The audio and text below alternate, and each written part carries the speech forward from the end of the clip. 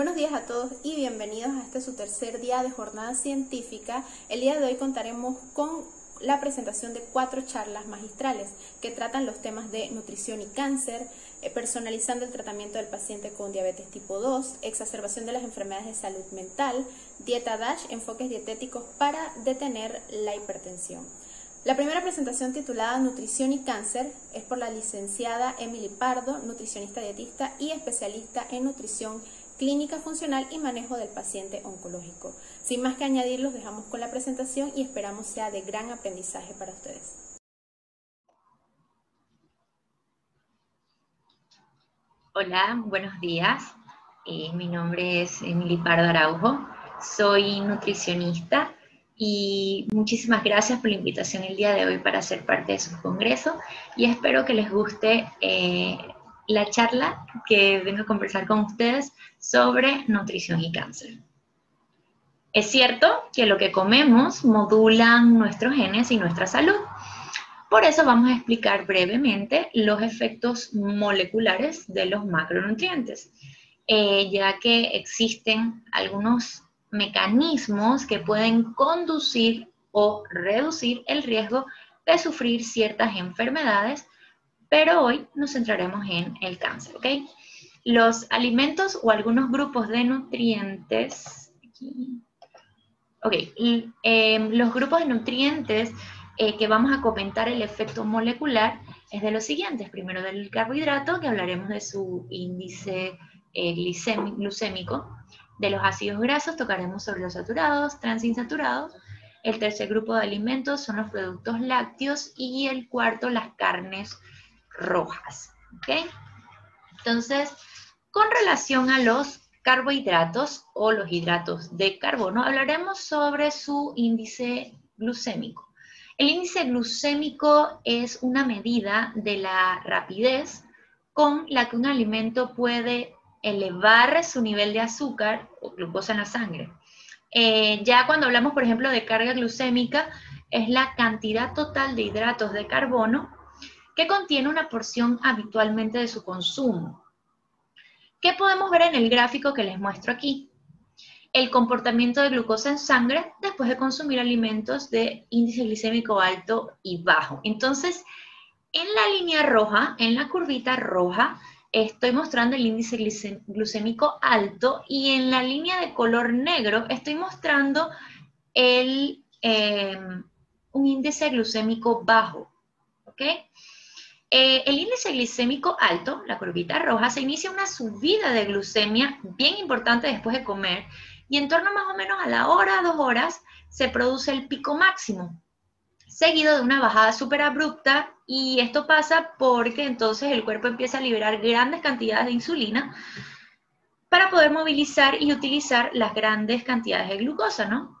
Ya en el índice eh, glucémico bajo, el aumento de la glucemia es mucho más sostenido, no se produce un pico tan elevado como en el índice glucémico alto, eh, después de comer, claro, y digamos que los niveles están mucho más controlados y las células pueden resolverse y captarse, eh, nivel de insulina mucho más bajo.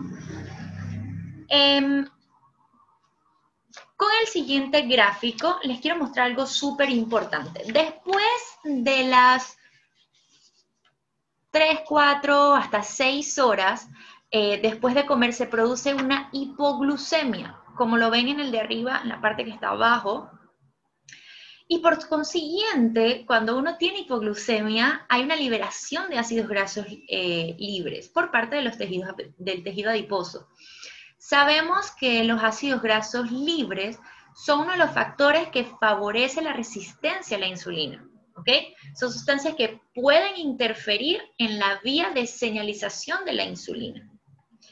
Este conjunto de procesos va a producir un estrés a las células betas del páncreas, como muestran en el gráfico de abajo, que puede ir desgastando su función a lo largo de la vida. Otra consecuencia es que la hiperglucemia se está asociada a las horas después de eh, comer. Esto, está asociado a un pico de estrés oxidativo. eh, esto lleva también a una termogénesis adaptativa. Esto quiero decir con esto que los tejidos cuando reciben una grande dosis de energía necesitan disiparla de alguna forma. Así que el motor en donde se quema la energía de las células, las mitocondrias, empezarán a quemar de forma improductiva esta glucosa. La principal fuente de estrés oxidativo que tienen las células son errores en el mismo funcionamiento de ellas, en, las en las propias mitocondrias, por decirlo así. El origen del estrés oxidativo es mayoritariamente endógeno. No es tipo todo, pero sí la mayoría del tiempo es de manera endógena. Esto aumenta la posibilidad de tener la síntesis de un estrés oxidativo. Cuando hablamos sobre cáncer y qué relación tiene a ver, existen algunos mecanismos que explican cómo el consumo de, alimentos de alto, de alto índice glucémico eh, más una dieta con alta carga, o sea, mucho carbohidrato, una alta carga de, eh, glucémica, también promueven el desarrollo de cáncer. Entonces, tenemos dos mecanismos, ¿ok? Por un lado, nos encontramos con que el consumo de estos alimentos se asocian con picos de estrés oxidativos, con las RONS. Tenemos ahí.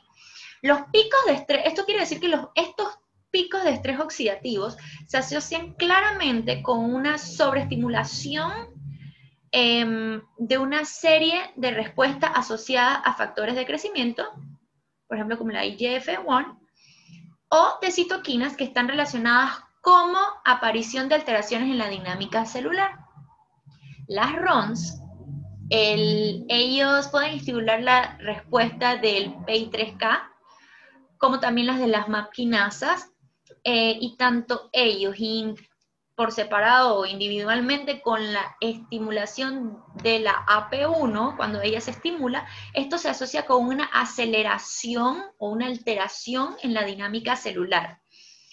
Em, el estrés oxidativo en las RONS también contribuye a que aparezcan mutaciones en ciertas partes del ADN. También sabemos que se asocian con un incremento del riesgo de desarrollo del cáncer. Pero por otro lado, hay un efecto directo que tiene que ver con la misma insulina. ¿Por qué? La insulina se comporta y tiene funciones similares a la de un factor de crecimiento. Además, la insulina tiene la capacidad de promover el IGF-1, que es el Insulin Like Growth Factor 1. Entonces, la combinación de los niveles elevados de insulina y de la IGF-1 efectivamente puede promover la alteración en la dinámica celular y finalmente aumentar nuestro, nuestro riesgo de desarrollar diferentes tipos de cáncer.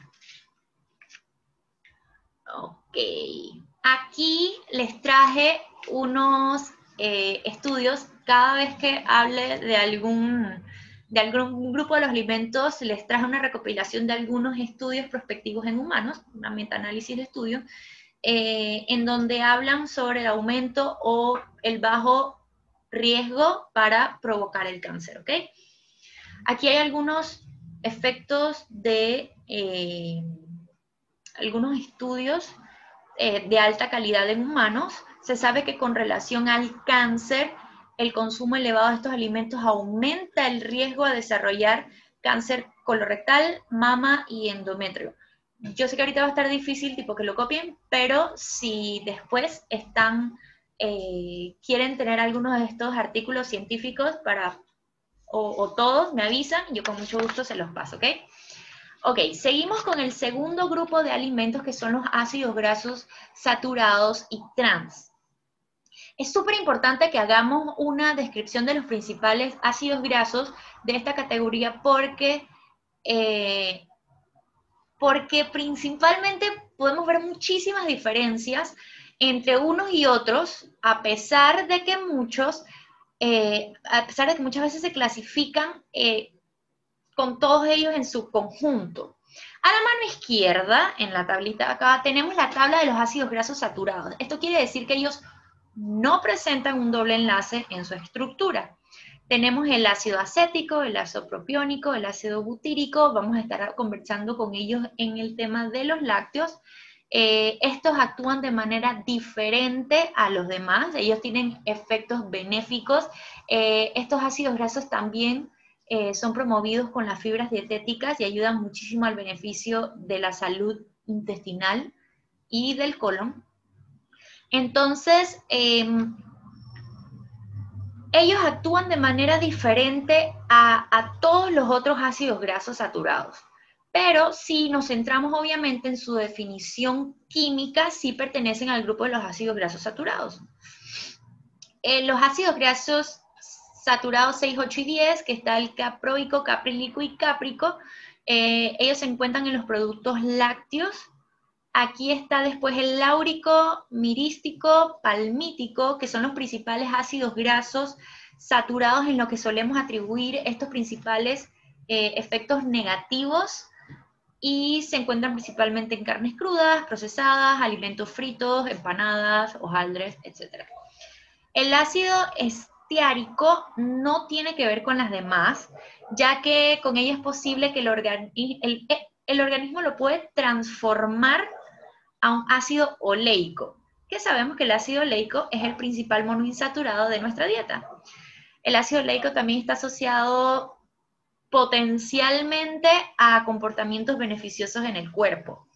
Por eso es que recalco que esta clasificación no es tan precisa, ya que mezcla ácidos grasos tóxicos como em, los del medio, con otros que tienen beneficios como los ácidos grasos de cadenas cortas, que son los tres, los tres primeros. También pasa lo mismo con las grasas trans y me pareció súper interesante traerles esto acá porque eh, los los ácidos grasos trans son ácidos grasos insaturados, con doble enlace, con una estructura muy rígida. Entonces ellos tienen mala fama en un incremento del riesgo cardiovascular, pero si miramos atentamente en la familia de los trans, tenemos que tener en cuenta que estos ácidos grasos eh, los encontramos en los pasteles, en los fritos, en las empanadas, en las hojaldres también. Eh, son el ácido elaídico, el vaccínico y ellas se utilizan muchísimo por las industrias ya que son muy baratas y estables a temperatura ambiente y no se, no se enrancian. No sé si es esa palabra pero bueno. Eh, se ponen rancio, pues. Esto es importante hablarlo porque hay algunos alimentos naturales, y por eso les dije que era súper interesante, hay algunos alimentos naturales que tienen otros tipos de ácidos grasos trans, o sea, no solamente viene de la parte industrial, también hay alimentos naturales con ácidos grasos trans, eh, como son los tres últimos en la columna, que son ácido ruménico, el linoleico y el pamitoleico, los tres vienen de eh, los lácteos. El ácido ruménico está, eh, es de origen vacuno, viene del rumen eh, vacuno. El ácido linoleico conjugado y el ácido transpalmitoleico también es de origen ruminal, como ya les dije. Y ellos se, comportan de una manera súper distinta a los ácidos grasos trans. Ok, Em, los ácidos grasos trans y saturados los vengo a hablar súper por encima porque la verdad ya se van a ver cuando hablamos con los estudios metaanálisis. Ellos, ambos, ambos tipos de, de, grasas, lo que hace es modular ciertas vías relacionadas con las endotoxinas, como con el lipopolisacárido. Una dieta rica en trans y en saturados favorecen que la microbiota, que no es saludable, o sea, que es una microbiota con disbiosis, una disbiótica, eh, prolifere especialmente a nivel intestinal. Entonces habrán niveles más elevados de endotoxinas en el propio intestino. Esto hará que, en caso que exista una cierta permeabilidad intestinal, estas endotoxinas accedan al torrente sanguíneo y puedan producir una activación en los macrófagos. También se ha visto que algunos de los, de los metabolitos derivados de los ácidos grasos eh, trans y saturados tienen la capacidad de estimular directamente los receptores de los lipopolisacáridos en, los macrófagos. Estimulan uniéndose a estos receptores, al CD14 y al TLR4, y simulan el efecto estimulante de los macrófagos que tendría el lipopolisacárido. Conduciendo, eso conduce a una mayor activación de estas células y provoca mayor inflamación de bajo grado en el organismo. Entonces, nos encontramos con un efecto sorprendente en los estudios y por eso, o sea, los ácidos grasos transaturados tienen muchas otras más vías, pero algo bien resumido, porque lo sorprendente de esto es que el alto consumo de ácidos grasos saturados no se asocia con mayor riesgo de desarrollar cáncer y tampoco de sufrir eh, diabetes tipo 2 o, por ejemplo, enfermedades cardiovasculares. Sí, yo también quedé sorprendida.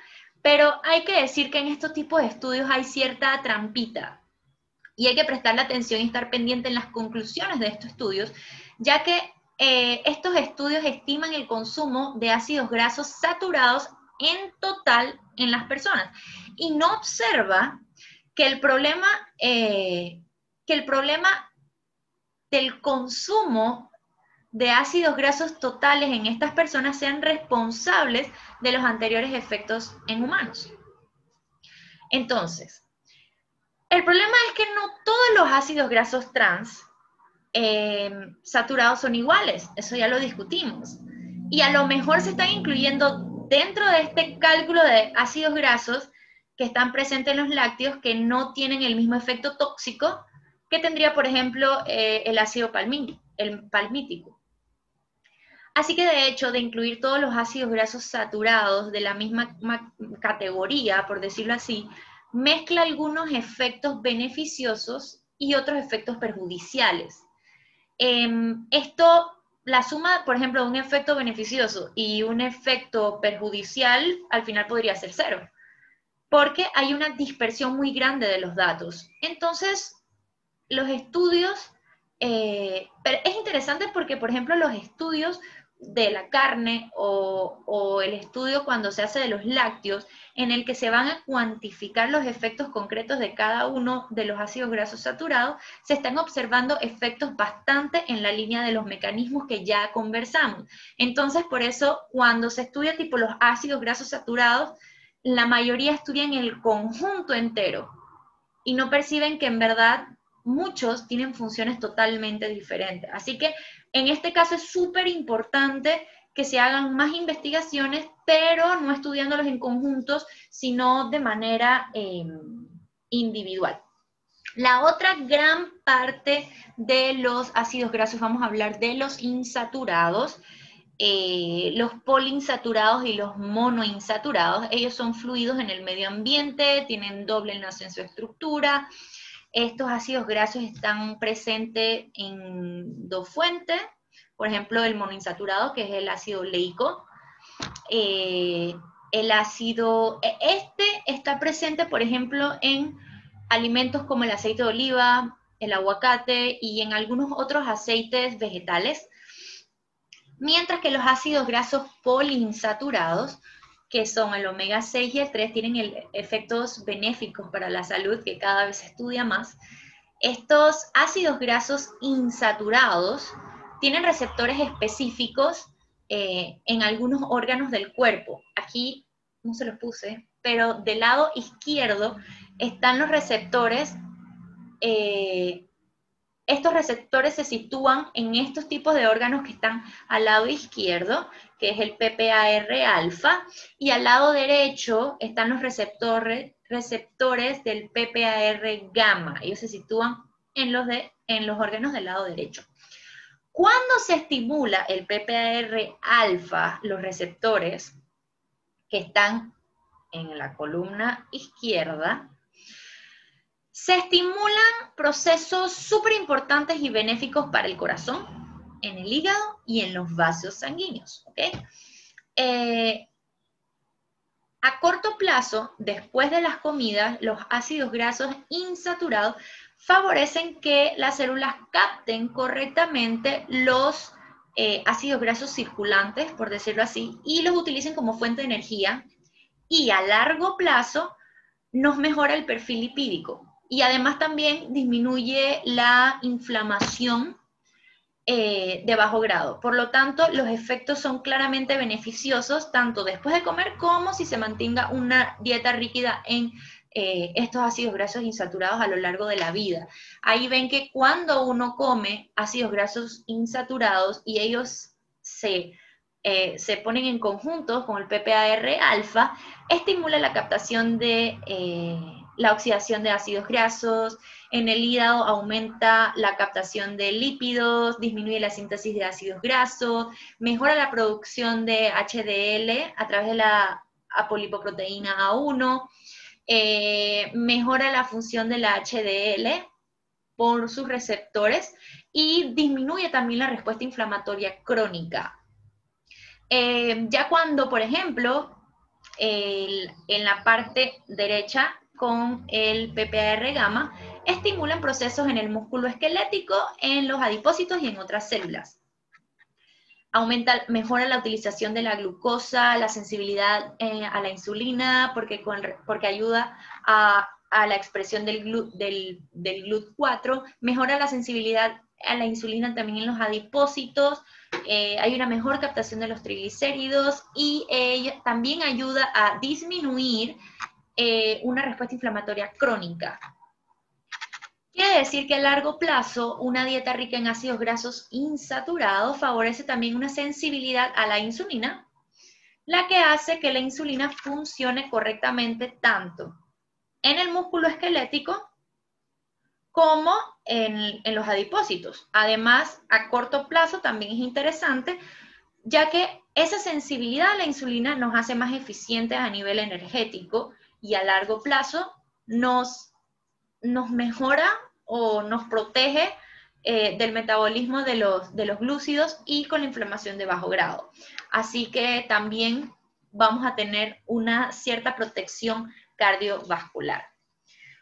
Con relación a los estudios de metaanálisis de estudios prospectivos en humanos con eh, los ácidos grasos insaturados, no vemos grandes efectos con la asociación de ácidos grasos monoinsaturados, ya que solo hay una incidencia en cáncer endometrial, una, disminución de esa incidencia, ¿no? Eh, ya en el consumo de pescado azul principalmente, con los ácidos grasos poliinsaturados, se ha observado una menor incidencia de cáncer, particularmente de mama, colorectal, hígado esófago, mientras que otros tipos de cáncer no se ve mayor beneficio como el de próstata, el de vejiga, eh, renal, ovario, pero bueno, yo se los paso después con, más detalles. Eh, con estos últimos, con estos últimos, con esto que no se ve mayor incidencia, la verdad es que no hay una concordancia entre la evidencia molecular y los estudios. Pero esto es algo que se sigue estudiando demasiado, se trata de buscar, esto es el estudio de nutrigenética y nutrigenómica, en donde se trata de ver los efectos de, la, de los alimentos y de los nutrientes para, eh, para ver cómo modulan los genes, y esto es algo súper interesante, así que eh, probablemente esto en uno o dos años vamos a seguir teniendo información nueva y las cosas probablemente hasta cambien, quién sabe. El tercer grupo de alimentos que vamos a hablar son, los lácteos, en el que el, en el rol de las grasas o los lípidos tienen una parte muy importante en, la composición de ella. Eh, nos hemos centrado en los efectos moleculares de un determinado nutriente en el caso de los, de los nutrientes anteriores, pero en el caso de los lácteos debemos hablar de una matriz de componentes bioactivos. ¿Qué quiero decir con eso? Que no hay un único componente en los productos lácteos que sea 100% responsable de todos los efectos que tenga el lácteo en nuestro organismo, porque es un conjunto de muchas cosas. Entonces, eh, me voy a centrar, ah, bueno, tenemos el calcio, tenemos los lípidos, tenemos probióticos, tenemos la vitamina K y los lactos tripéptidos. que son los, los componentes que están asociados a mejoras y prevención en el lado de diabetes, cardiovascular y cáncer, pero me voy a centrar en los principales que tienen relación con el cáncer. Dentro de la composición de la grasa, en la leche de vaca tenemos el ácido butírico. Les dije que íbamos a hablar de él. Em, el ácido graso de cadena corta, que contribuye a la integridad del, del, epitelio intestinal, eh, tiene un efecto tóxico sobre los colonócitos malignos debido a la capacidad de inhibir las histonas de jugando con, con la compactación del ADN y así favorecen la expresión de genes. Y, por ejemplo, también promueve la apoptosis y disminuye la viabilidad celular de las células malignas, principalmente en el cáncer de colon. También los ácidos grasos de cadena corta tienen la capacidad de unirse a ciertos receptores, como, muestran, como muestra aquí el GPR43 y también el de abajo de PR41, lo cual uno disminuye la respuesta de inflamación, eh, la respuesta de carcinogénesis a las células del tubo digestivo y eh, la que está en la parte posterior también favorece la saciedad y la sensibilidad a la insulina. Los ácidos grasos linoleicos o conjugados, parte de abajo, tienen la capacidad de actuar como agonistas del PPAR eh, gamma, es decir, favorece la sensibilidad a la insulina y además va a disminuir la respuesta inflamatoria del organismo. Y también disminuye la respuesta eh, proinflamatoria. Ok, sobre la relación de, eh, con los probióticos, los probióticos lácteos fermentados pueden mejorar la salud tanto de cáncer como de enfermedades cardiovasculares y ahorita se estudia muchísimo de los probióticos y hay estudios para todas las enfermedades, depresión, para eh, la disbiosis intestinal, para el cáncer, para muchísimas utilidades, eso ya es otra charla. Em, este proceso de fermentación de los productos y de los probióticos darían un beneficio adicional. En el caso de los yogures, por ejemplo, sabemos que tienen bacterias probióticas vivas. Están los lactobacilos, están los eh, bifidobacterias. Estas son eh, bacterias vivas y son capaces de favorecer la producción de ácidos grasos de cadena corta, como el ácido butírico, lo cual va a aumentar y favorecer que se sigan produciendo más ácidos grasos de cadena corta. Esto promueve una buena integridad intestinal y también ejerce un efecto eh, negativo para los colonocitos malignos, un efecto beneficioso para el tubo digestivo y hay una mejor sensibilidad a la insulina. Con relación a los metaanálisis de estudios prospectivos en humanos con relación a los lácteos, los lácteos totales se asocian con una menor incidencia de cáncer colorectal y una menor incidencia de cáncer de mama. El consumo de lácteos totales está asociado a un aumento en la incidencia del riesgo de sufrir cáncer de próstata, probablemente por el mecanismo parece estar relacionado con el calcio eh, y, aunque no es bastante claro, el efecto humano está bastante claro con relación al aumento del riesgo de la incidencia. El consumo de fermentado sigue dando una respuesta protectora al cáncer de colorectal, de mama y de vejiga.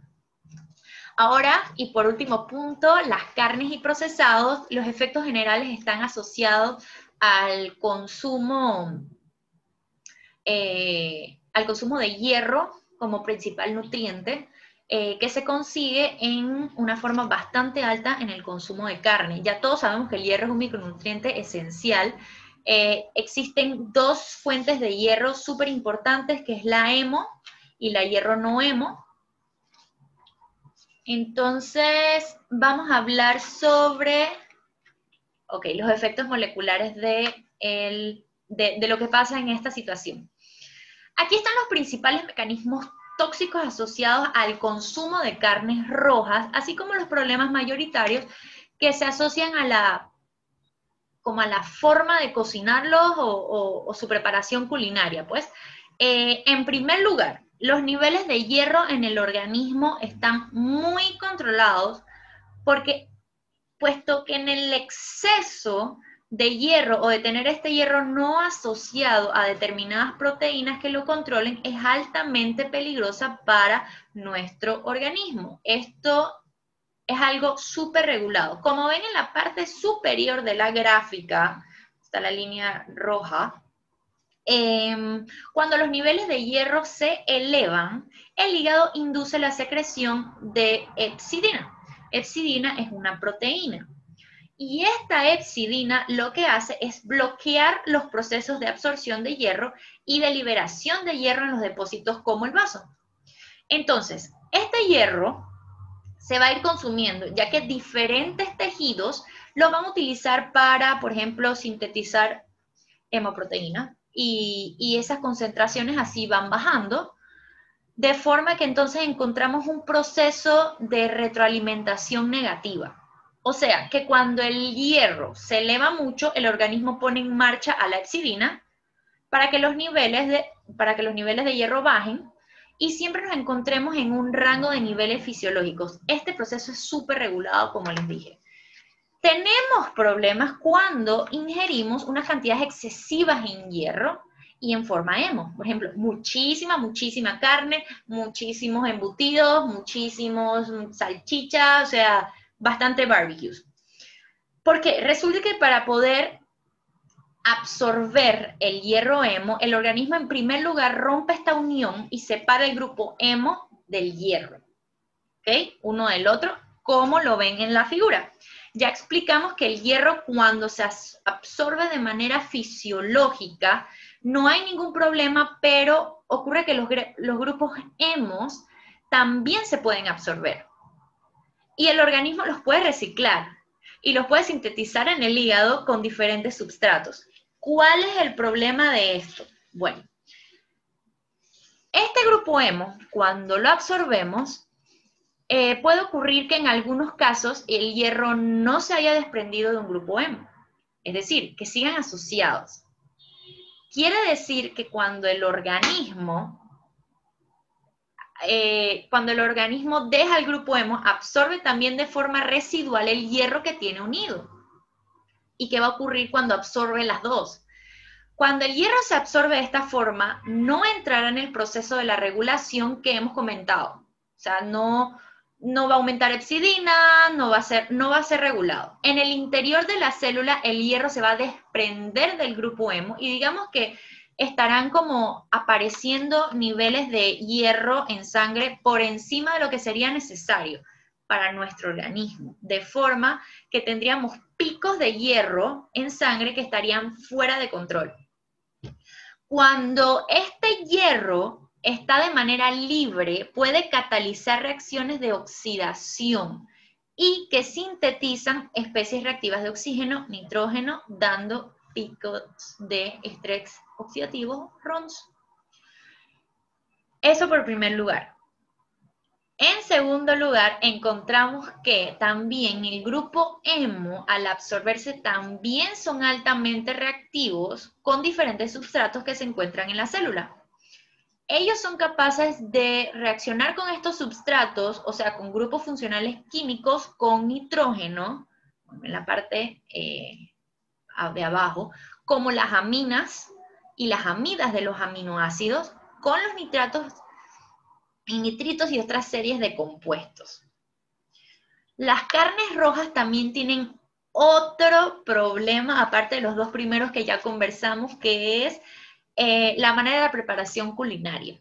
La mayoría de las personas que consumen y que consumimos carnes rojas, no las consumimos ni poco hechas, eh, ni hechas culinariamente de manera segura, sino solemos optar, por ejemplo, por ejemplo, parrillas, eh, sartenes a la plancha, asados, barbecues, ahumados, y digamos que todas estas maneras culinarias en la superficie de la carne eh, roja y procesada formen sustancias aromáticas, como lo son, como dice aquí, los hidrocarburos, las aminas y también compuestos eh, nitrosos.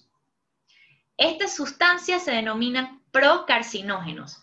Y cuando estoy hablando que las sustancias se denominan procarcinógenos, ya que cuando están en su estado estándar, por ejemplo, solo el hidrocarburo solito no es dañino hasta que el cuerpo lo metaboliza para excretarlo y eliminarlo. Ahí se vuelve tóxico, cuando realmente el cuerpo eh, trata en lo posible de deshacerse de él. Con relación a los estudios de la carne, el consumo de carnes rojas no procesadas aumenta la incidencia y el riesgo de algunos tipos de cáncer, como el colorectal, el mama, el de mama, el de páncreas, el de esófago. Eh, el consumo de carnes procesadas, incluso a menor dosis de la carne no procesada, aquí hablamos, por ejemplo, de las salchichas, de los embutidos, nos encontramos con los mismos efectos de aumentar la mortalidad por cáncer y el número de varios tipos de cáncer. Entonces, em, la verdad es que hasta ahora estos estudios van a seguir cambiando, se va a seguir buscando la manera de encontrar nutrientes o maneras de entender cosas que puedan causar el cáncer. Hasta ahora, como le digo a mis pacientes, no existe un solo único nutriente o alimento que hasta ahora se ha descubierto que cause cáncer sí o sí, sino que los hábitos de vida y algunos tipos de alimentos ya ven que las, la la manera en que el cuerpo los metaboliza puede aumentar a largo plazo la incidencia de tener algunos tipos de cáncer. Así que muchísimas gracias, espero que les haya gustado y cualquier cosa, estamos a la orden.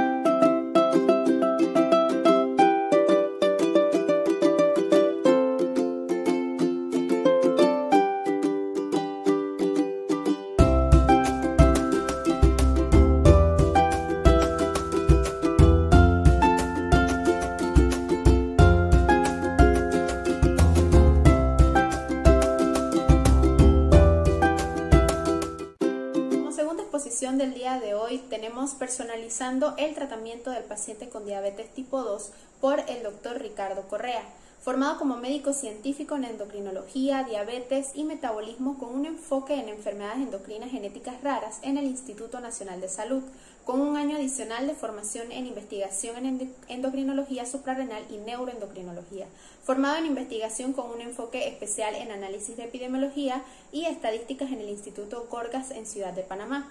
Cuenta con formación en epidemiología clínica y medicina basada en evidencias por el doctor Gordon Guyat en la Universidad McMaster en Hamilton, Ontario, Canadá. tiene experiencia en la realización de investigaciones clínicas en diabetes, hipoparatiroidismo, síndrome de Cushing, enfermedad de Cushing, obesidad y genética de enfermedades endocrinas raras. Además, cuenta también con una vasta experiencia en educación médica. Con ustedes, el doctor Ricardo Correa. Muy buenas días.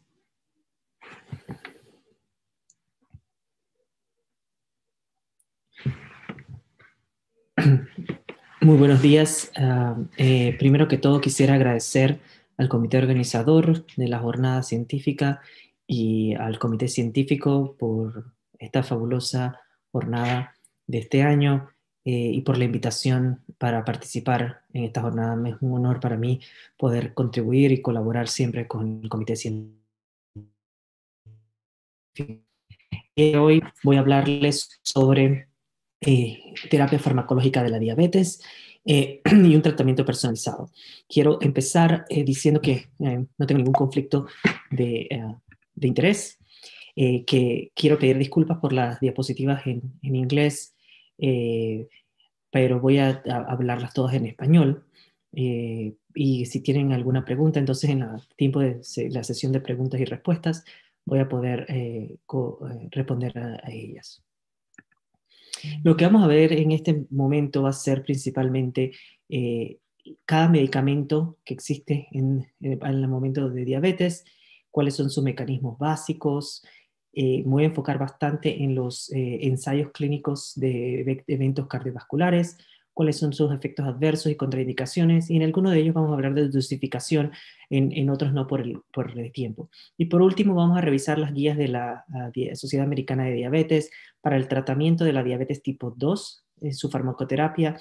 Eh, como el tema es tan amplio, vamos a tratar de ir un poco rápido en, en algunas diapositivas. Las diapositivas la, la van a tener, y la van a poder revisar eh, eh, después. Y lo otro es que todas las referencias de los estudios van a estar al final de la presentación para que así puedan tener acceso a todos los estudios. Vamos a empezar primero con la ah, metformina. Y la metformina, eh, vamos a empezar siempre con lo básico y después vamos a ir a, los, efectos cardiovasculares. Ah, algo importante mencionar en toda la, la, charla es que el costo eh, es un costo basado en precios de Estados Unidos, pueden cambiar eh, significativamente en precios de Panamá, eh, pero ah, porque lo usé porque hay algunos medicamentos que todavía no han llegado a Panamá, entonces por eso vamos a usar el costo de Estados Unidos. El costo básico de la metformina es aproximadamente 2 dólares, es uno de los medicamentos más diseminados a través del mundo, es uno de los medicamentos menos costosos. Eh, el, porcentaje de A1C que reduce la metformina es de 1 a 1.5%. Tiene otros efectos beneficiosos que son una reducción del peso, que puede ser de hasta 0.6, de, uh, de 0 a 6 libras, perdón. Eh, una disminución de eh, eventos cardiovasculares, y vamos a hablar un poco más de eso en las próximas diapositivas. Y está siendo usada en los Estados Unidos desde 1995, en Europa un poco antes, o sea que es uno de los eh, medicamentos con más experiencia en, el tema de, diabetes que existe. ¿Cuál es el mecanismo de acción? Eh, como todos conocen esto, el mecanismo de acción es una, eh, inhibe la gluconeogénesis o la formación de glucosa en el hígado principalmente, es un inhibidor de la, de la glicerol fosfatasa deshidrogenasa que actúa a nivel de la mitocondria. Aparte de esto, estimula la secreción en el enterocito del GLP-1, que es eh, una hormona que estimula la insulina, y del péptido WWY, eh, Y también aumenta la circulación de glucosa de la circulación a, las heces, o sea que aumenta la excreción de glucosa en las heces. Cuando vamos de cuáles son los estudios principales en, enfermedad cardiovascular y, metformina, podemos mencionar tres de ellos. Uno es el UCAPDS, que es un estudio que evaluó infarto al miocardio y todas las causas de mortalidad. Y como podemos ver, salió factor protector el uso de metformina.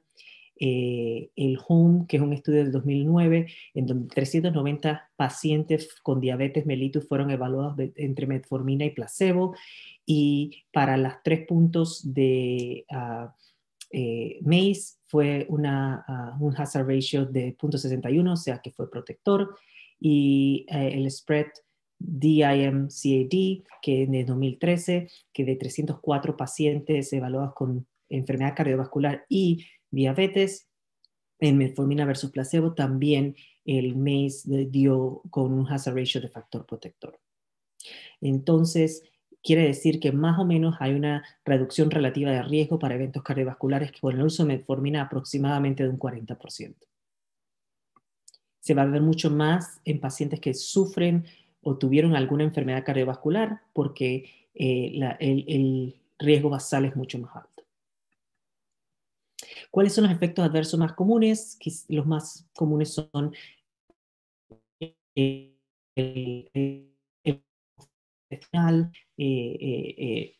el efecto más común en todas sus manifestaciones. Eh, algo muy importante cada vez que se toma metformina es revisar la vitamina B12 en el paciente y en casos de tener deficiencia de vitamina B12 es importante reemplazarla porque hasta el 30% de los pacientes con metformina tienen ah, una disminución de la absorción de la vitamina B12 y pueden tener deficiencia de vitamina B12. Muy raro es lo que se llama la acidosis láctica inducida por metformina y esto ocurre en muy casos pacientes, se han recibido reportes de esto, usualmente la comprobación es con los niveles de metformina en, sangre, son muy difíciles de determinar, entonces por eso muchas veces hay confusión, a veces la acidosis láctica, un paciente que tiene diabetes podría ser una acidosis láctica producida por la diabetes, pero muchas veces se le achaca a la, metformina, entonces por eso, por, eh, si pueden ver, una, hay una revisión sistemática de 347 estudios, ninguno de ellos encontró alguna acidosis láctica inducida por metformina.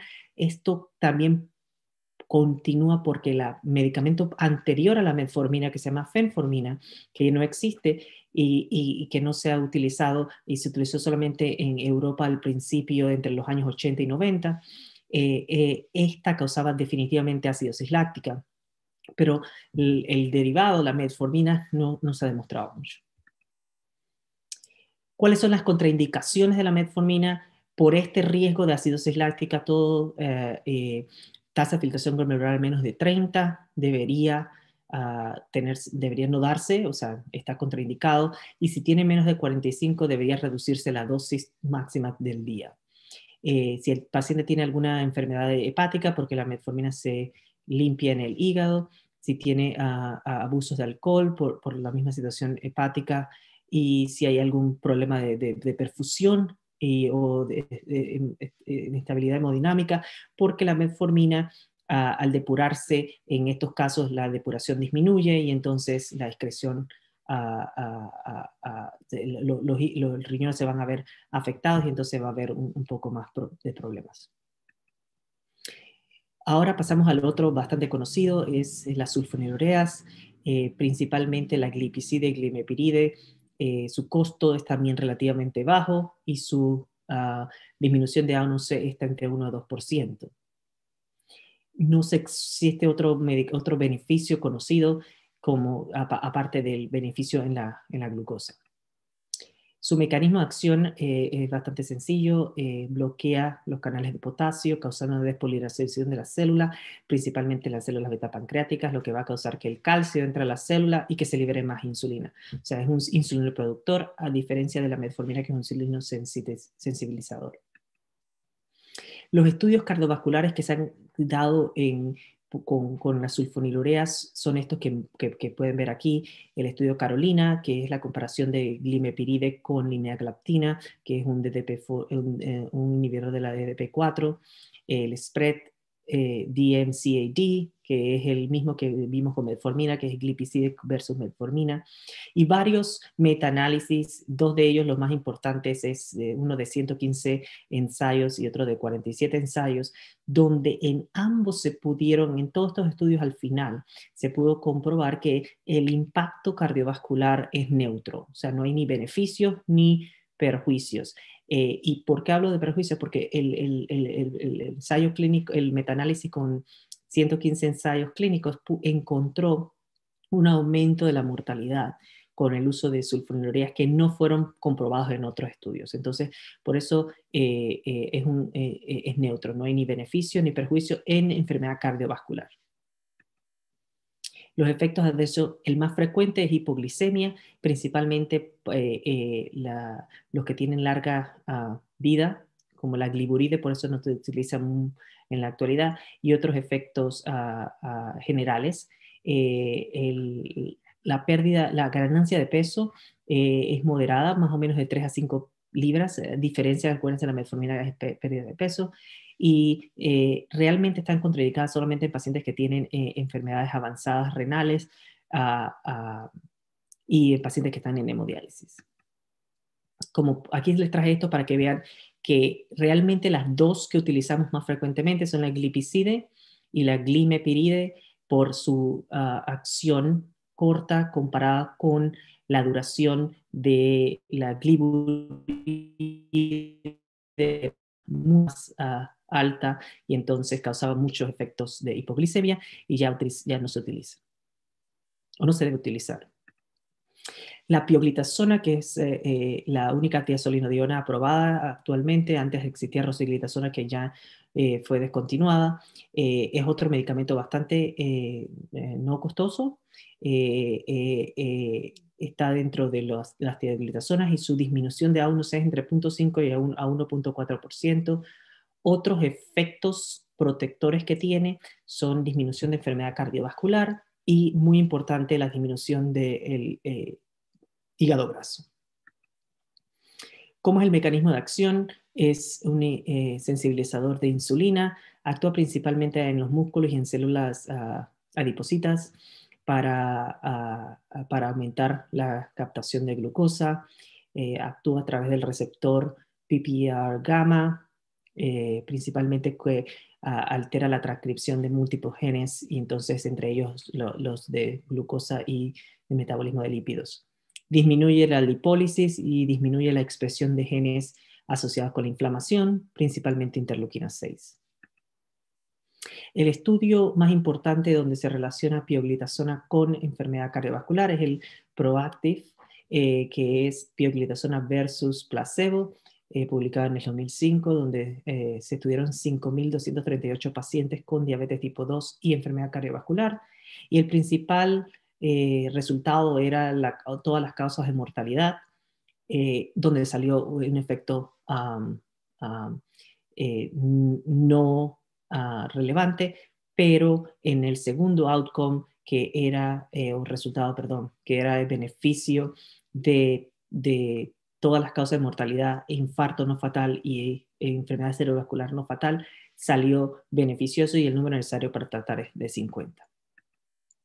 Otro estudio eh, publicado más recientemente en el 2016 con 3.876 pacientes no diabéticos, comparado con el anterior que fue diabético, estos pacientes principalmente no eran diabéticos, pero estaban eh, siendo tratados por alguna complicación de enfermedad cerebrocardiovascular. Eh, el outcome era, los resultados eran repetir el, la enfermedad cerebro o cardiovascular y podemos ver que salieron eh, como efecto protector y el número necesario para tratar era entre 36 y para desarrollar diabetes en pacientes que tenían prediabetes era de 26. Los efectos adversos, tenemos un aumento del de, peso y principalmente vamos a hablar por la retención de fluidos y un poco de eh, aumento de fracturas. Estos son los otros estudios que se han hecho en pioglitazona. Pueden ver dentro de, cohortes retrospectivas o de ensayos clínicos y metanálisis, y en todos ellos se han encontrado eh, alguna forma de protección tanto de, cerebro y o cardiovascular, eh, ah, eh, y, aquí se los dejo una de las cosas más importantes de las tiazolinodionas es la protección de eh, esteatosis hepática y estos son estudios que miren que el, número necesario para tratar es muy bajo, entre 2 a 12, eh, y estos son los estudios diferentes que se han hecho con, con tiazolinodionas eh, y, mejoramiento de pacientes con hepatosis o hígado graso. Los efectos adversos son edema periférico, eh, exacerbación de la, insuficiencia cardíaca congestiva, principalmente por la retención de líquidos, aumento de fracturas, principalmente de huesos largos, y aumento de peso, que el 75% se debe a la retención de líquidos, pero puede aumentar hasta 12 libras de peso. Eh, eh, em, ¿Cuál está? Eh, había una asociación entre cáncer de vejiga y pioglitazona. Principalmente esta asociación se dio en estudios que se hicieron en ratas, no en humanos.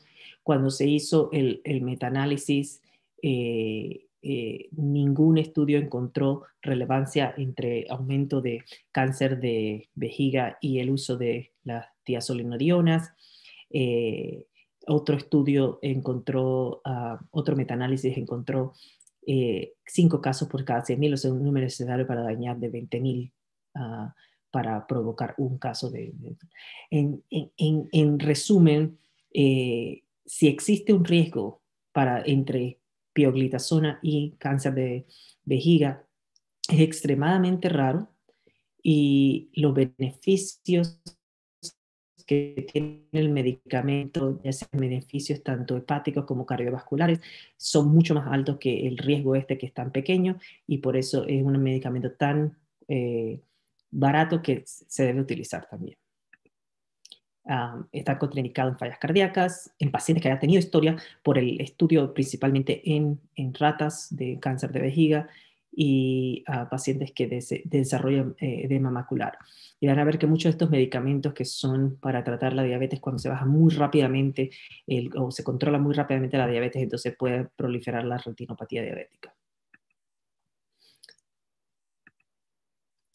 Los inhibidores de la DPP4, DPP4 son un poco más costosos, uh, son unos eh, más, más, más, recientes y bajan la A1C entre 0.5 y 0.8. Voy a explicar el mecanismo de acción.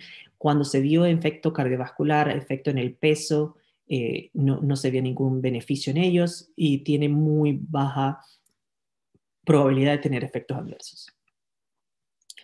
El mecanismo de acción es bastante sencillo. La DDP4 es una enzima que degrada la GLP1 y la GLP1 realmente es una enzima que estimula la supresión de, de glucagón y estimula la, la, secreción de insulina.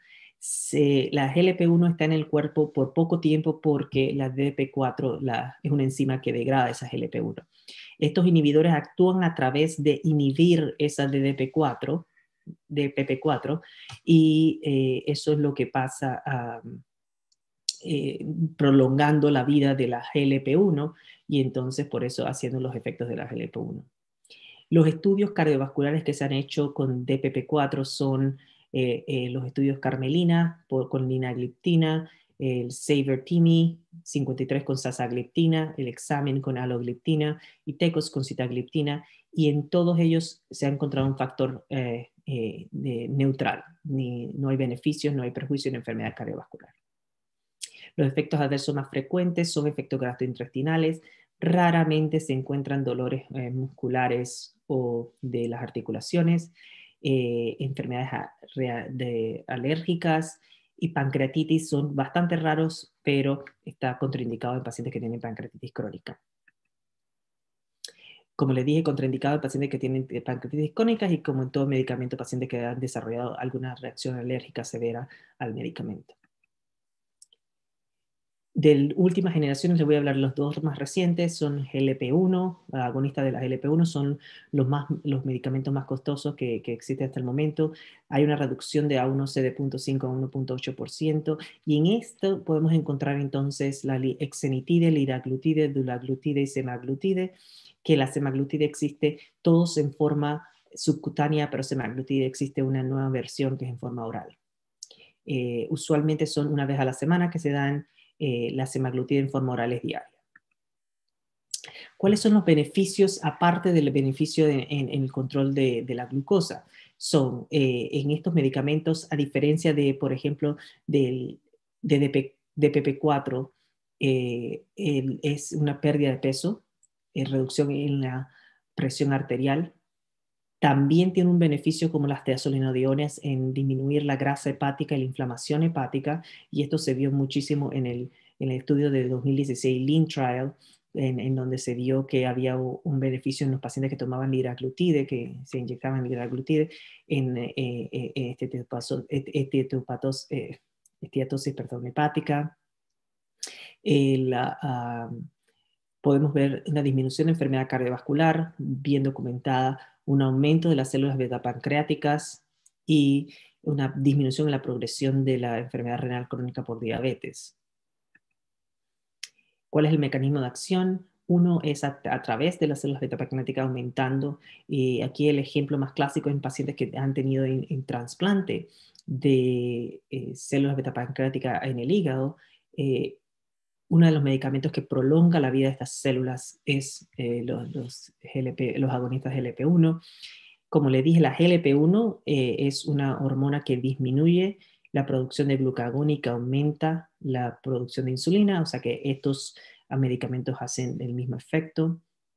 Eh, disminuye como la metformina la producción de glucosa hepática o gluconeogénesis en el hígado, eh, aumenta la ah, captación periférica, principalmente en, los músculos de la glucosa, y tiene un efecto de saciedad y de disminución del vaciado gástrico, que es un medicamento que por eso tiene su efecto ah, principal, que es la, ah, un efecto, perdón, en la en, la, en el beneficio de, pérdida de peso eh, y entonces también se utiliza como principalmente la liraglutida en dosis un poco más altas que para diabetes, diabetes, se utiliza también como un medicamento eh, para la obesidad.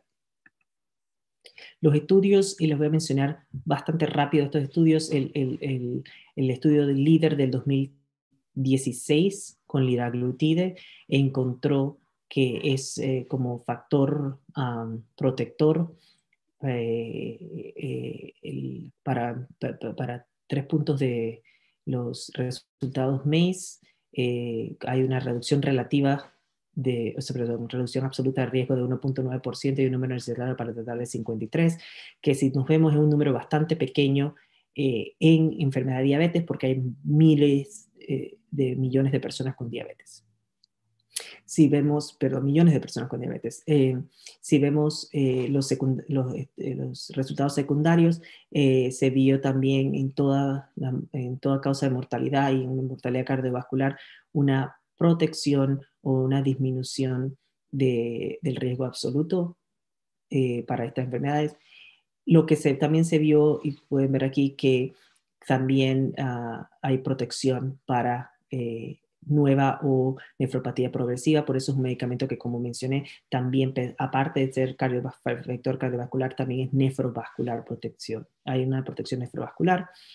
Eh, la pérdida de peso eh, se puede dar en un máximo de 2.3 kilos, eh, lo que se vio en este estudio con la iraglutide. Hay disminución de la presión arterial y hay, ah, hay un aumento en, en la por, por el misma acción de la GLP-1 en la colitiasis eh, en la vesícula biliar.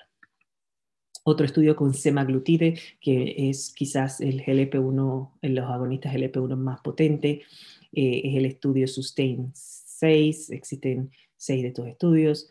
Em, lo, pueden ver que la relación absoluta de riesgo es de 2.3% eh, y un número de más pequeño que con liraglutide. Eh, y tiene los mismos efectos secundarios, de resultados secundarios eh, que, la liraglutide, y los efectos adversos son, son eh, bastante similares.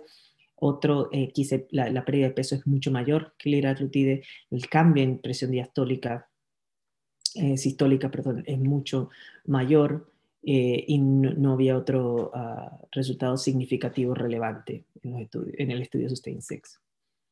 En el estudio de la hexanitide podemos ver que también hay una reducción eh, absoluta de riesgo y también hay cambios, disminución del peso y disminución de la presión sistólica. En el estudio de ulaglutide, la máxima dosis que, que, existía en el momento de hacer este en el 2019 era 1.5. Actualmente, hace unos meses, se aprobó la dosis de 4.5, que es donde hay mayor reducción de la A1C en los eventos cardiovasculares, ya con la dosis de 1.5 había una reducción absoluta de riesgo de 1.37% con un número necesario para el 73, con también beneficios a través de enfermedades cerebrovasculares y nefropatía.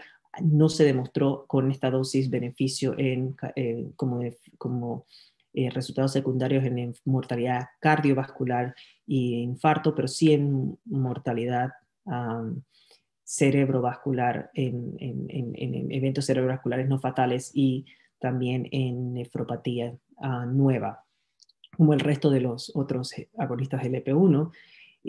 Ah, hay que también notar que también hay disminución de peso y disminución de la presión sistólica.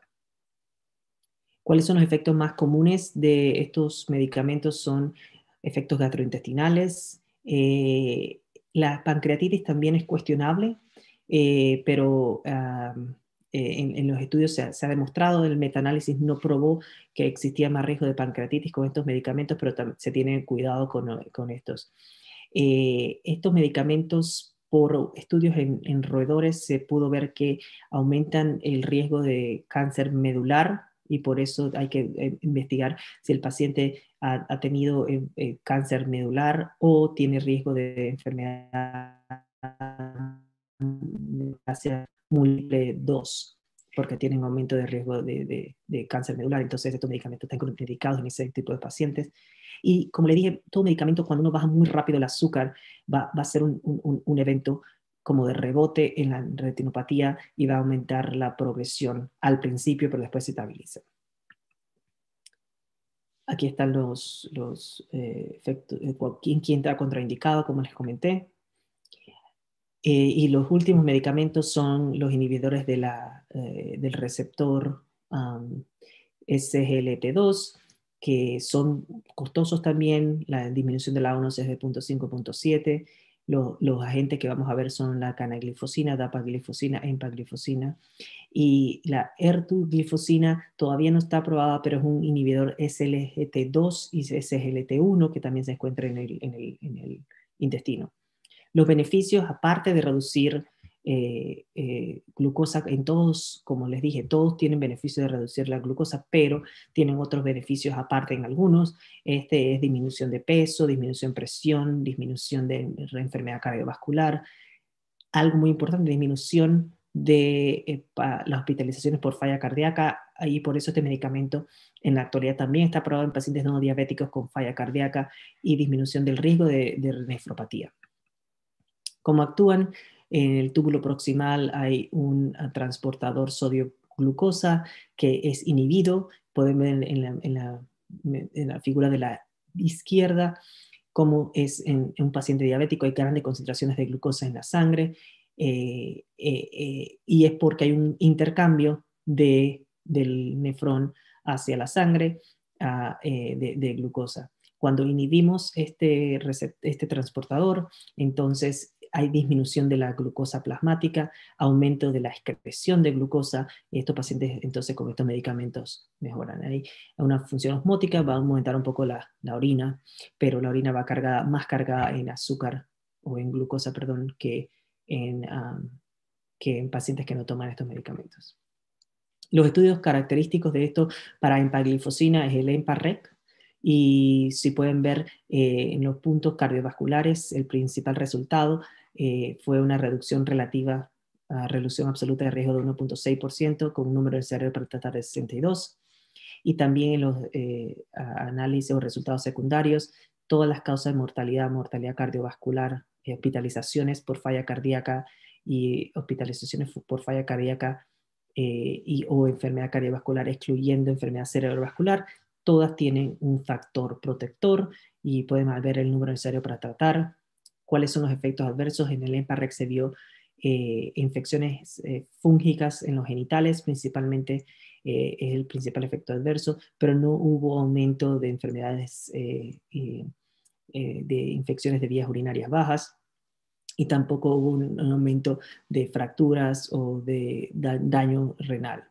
Aparte de esto, se vio pérdida de peso y pérdida de disminución de la presión sistólica también. El estudio de canaglifosina encontró resultados muy similares, eh, la disminución de, eh, el riesgo, absoluto de, eh, es, de significativa y un número cero para tratar de 224, que a pesar de ser un número bastante alto, en diabetes es un número bastante bueno porque acuérdense, es con relación a la enfermedad y la enfermedad tiene muchísimos eh, pacientes, entonces por eso un número, aunque parece alto, es, bueno. Eh, en este estudio, a diferencia de los otros, la, la mayoría de los pacientes estaban con un riesgo de enfermedad cardiovascular de base aumentado, o sea, 70% de ellos tenían ya una enfermedad cardiovascular de base. Y en los efectos secundarios, eh, se, se, pudo ver también beneficio en, en, los otros, excepto en todas las causas de mortalidad, eh, mortalidad cardiovascular y hospitalizaciones por cualquier causa. Eh, en este estudio, en el Canvas, fue donde se pudo por, primera vez ver las amputaciones, aumento de amputaciones en pacientes y como enfermedades genitales, tanto en hombres como en mujeres, están aumentadas, igual que en el estudio de empaglifosina y el otro beneficio protector es eh, la pérdida de peso y la presión sistólica. Disminución de la presión sistólica. En el estudio de dapaglifosina, eh, que es el de Clear Team 58, eh,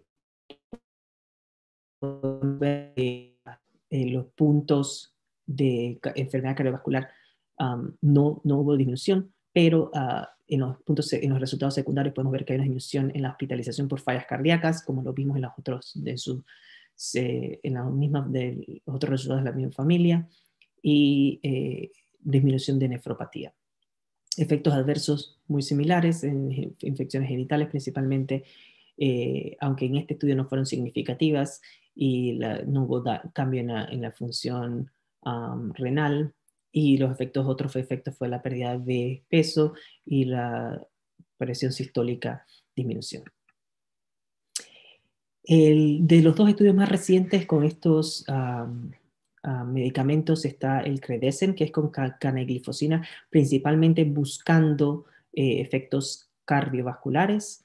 Y lo que se vio fue que se tuvo que parar eh, temprano por beneficio porque su resultado número uno, que era una composición de eh, em, enfermedad renal crónica con el, doblamiento de la, de la creatinina o eh, enfermedad, mortalidad por enfermedad renal o enfermedad cardiovascular fue mucho, muy beneficioso en pacientes que tomaban este medicamento, con un número de para tratar de 25 y podemos ver en los resultados secundarios un beneficio en todos sus resultados secundarios. Eh, los efectos adversos estaba la amputación eh, y la gangrena de Fournier, que no fueron tan relevantes, pero ah, sí se presentaron en algunos pacientes que tomaban este medicamento y las ah, enfermedades micóticas, tanto de los hombres como las mujeres, volvieron a salir en estos medicamentos y es porque principalmente es por la gran concentración de azúcar en la orina eh, y en pacientes que no tienen mucha higiene, entonces surge más. Otros cambios notables también fueron la pérdida de peso eh, como se vio en el estudio Canvas, y la disminución de la presión sistólica, como se vio en el estudio Canvas. Y el DAPAS eh, principalmente fue para evaluar si tenía un efecto protector renal, eh, que fue terminado recientemente el año pasado. se pudo encontrar que en pacientes con diabetes y pacientes sin diabetes, el medicamento tenía un efecto protector renal. y todo lo, los, efectos adversos fueron muy similares a, los anteriores. ¿Cuáles son estos efectos adversos? La candidiasis vulvovaginal. Eh, muy raramente se puede prever que hay una hipotensión por el aumento osmótico de excreción en pacientes más ancianos. No, no se ve mucho. Hay disminución de la tasa de filtración glomerular. Es un efecto temporario, de, luego, se, se estabiliza nuevamente. Eh, lo más importante es tener en cuenta en estos pacientes que eh, puede haber una cetocidosis euglicémica. Eh, es muy raro, pero hay, que tomar muy, muy en cuenta y vigilar a estos pacientes. Y otros muy raros son las amputaciones y las gangrenas de Fournier. hay casos reportados que, que, entonces hay que tomar en cuenta. Si el paciente tiene alguna infección, tratarlo más rápidamente. Pero estos son, son casos de, casos clínicos reportados. Eh, si quieren alguno, ah, nosotros eh, tenemos una publicación sobre la gangrena de Fournier y otra de una amputación. ¿Cuáles son las contraindicaciones de estos medicamentos? Definitivamente todavía no está aprobado para tipo 1. Existe un estudio con ertuglifosina para tipo 1, pero eh, todavía está en estudio. No se deben tratar en menos de, 40, de de 45, 45% ah, de tasa de filtración glomerular. Existe un estudio que puede darse hasta 30, pero tiene todavía bastante cuidado, menos de 45. Eh, eh, historias de cetocidosis diabéticas en tipo 2 hay que tener un poco más cuidado por la cetocidosis euglicémica y cuando pacientes están, por ejemplo, con constantes infecciones urinarias o pacientes que tienen eh, sonda, esta cosa hay que tener mucho, mucho cuidado. Por último, quiero hablarles sobre el tratamiento de las nuevas guías eh, de, la Sociedad Americana de Diabetes, del, recientemente publicadas en noviembre del de 2020. Eh, estas guías hacen un tratamiento personalizado de la diabetes. Entonces hay que no solamente tomar en cuenta que el paciente es diabético, pero hay que tomar otros factores en cuenta, como comorbilidades, principalmente enfermedad cardiovascular o falla cardíaca o enfermedad renal. El riesgo de hipoglicemia que tienen los pacientes, el impacto en el peso, tomar esto en cuenta, los riesgos adversos y lo que prefiere el paciente. Hay pacientes que definitivamente no les gusta inyectarse, o sea que los LP1 mm, inyectables no son adecuados porque el paciente, la preferencia del paciente son importantes. La Sociedad Americana de Diabetes en la última publicación sigue mencionando que la primera línea de protección es la metformina y luego de esto entonces vamos a ver si el paciente tiene una enfermedad cardiovascular, entonces tenemos que usar un agonista de la GLP-1 o un inhibidor de, la CGLT2 con evidencia de, protección cardiovascular. Y estos son la liraglutide, semaglutide, dulaglutide y la canaglifosina y empaglifosina principalmente. Si eh, el paciente tiene eh, enfermedad nefrovascular o, enfermedad renal crónica, entonces tenemos que usar, de primera elección sería un inhibidor de la CGLT2, y aquí están los estudios, como el, eh, que estudios como ya hablamos, el Credence y el, y el Canvas para canaglifosina, que hacen factor protector, la empaglifosina, que también es un factor protector, y la dapaglifosina, que disminuye también eh, enfermedad renal. Si el paciente no tolera estar contraindicado o el la tasa de filtración glomerular es menos de 45, entonces se le debe dar al paciente una GLP-1. O sea que hemos visto que tanto en enfermedad cardiovascular como en enfermedad renal, lo, entre eh, inhibidores de la SGLT2 y los ah, agonistas de la GLP-1 son los de primera elección. Cuando tenemos uno, podemos utilizar el otro. Eh, si está contraindicado uno, podemos utilizar el otro. O si pueden, queremos dar triple terapia, metformina más uno, sería agregar uno de los dos y después agregar a otra de la otra familia. Y aquí podemos ver entonces, por ejemplo, los diferentes estudios con el estudio líder con glutide, el estudio Sustain 6 con semaglutide y el estudio Rewind con dulaglutide, que también son, eh, previenen enfermedad renal. El paciente con enfermedad cardíaca o falla cardíaca, perdón, eh, la primera elección sería un uh, medicamentos eh, inhibidor de la CGLT2 para reducción de enfermedad cardiovascular, eh, enfermedad falla cardíaca. Está tanto la empaglifosina como la paglifosina como la canaglifosina. En todos se encontró que disminuyen insuficiencia cardíaca y por estos estudios también que estos medicamentos también son usados en la actualidad en falla cardíaca en pacientes no diabéticos. Ahora, también hay otras cosas que tenemos que tomar en cuenta, como dije, personalizado es, ya hablamos de la enfermedad cardiovascular y enfermedad renal, y sabemos que los principales son GLP-1, agonistas y los inhibidores de la CGLT2. Ahora, ¿qué pasa si eh, quiero minimizar el costo porque el paciente no tiene los recursos para comprar estos medicamentos que son más caros? O quiero promover la pérdida de peso, o quiero disminuir, disminuir la hipoglicemia. Entonces, tenemos que personalizar estos eh, eh, tratamientos. Por ejemplo, si el costo es la prioridad número uno del paciente, porque aunque le prescribimos medicamentos no van a poder comprarlo, entonces tenemos que basarnos en dos principales, que son la pioglitazona y las sulfonilureas. Entonces empezamos con metformina y luego vamos a alguno de estos dos. Eh, y después agregamos al tercero, que sería el, el otro. Si no podemos controlar con estos medicamentos, entonces tenemos que agregar la insulina menos costosa, que no son análogos que la NPH, eh, eh, una vez al día, principalmente se da en la noche por que hace el pico en la mañana y entonces controlamos las postprandiales con la, las sulfonilureas. Entonces, Eh, esto es, si lo que queremos es disminuir la hipoglicemia, entonces tenemos que evitar medicamentos que causan hipoglicemia, principalmente las sulfonilureas y las insulinas. Eh, y si, si, si, lo que queremos es perder peso, entonces vamos a utilizar, aparte de la metformina, medicamentos que pierden peso, como las, los agonistas de GLP-1 o los inhibidores de la CGLT2, que son bastante, que reducen el peso como hablamos. Entonces, todo esto es bastante importante en, en, tomar en cuenta. Entonces, cuando al fin, para concluir, manejo personalizado de la diabetes es tomar en cuenta cuáles son los beneficios de cada medicamento que vamos a utilizar las preferencias del paciente, tomando en cuenta todo un ambiente psicosocial para poder entonces eh, evaluar cuál, cuál, cuál es mejor y también las enfermedades de base, porque son cardiovasculares o renales, ya tenemos ciertos medicamentos que también ayudan a, la progresión, a disminuir la progresión de esas enfermedades. Para, eh, esto era un, efecto práctico de cómo dosificar la insulina NPH. Principalmente eh, se puede empezar en la noche, 10 unidades en un paciente que no está obeso, o 16 unidades en un paciente con obesidad.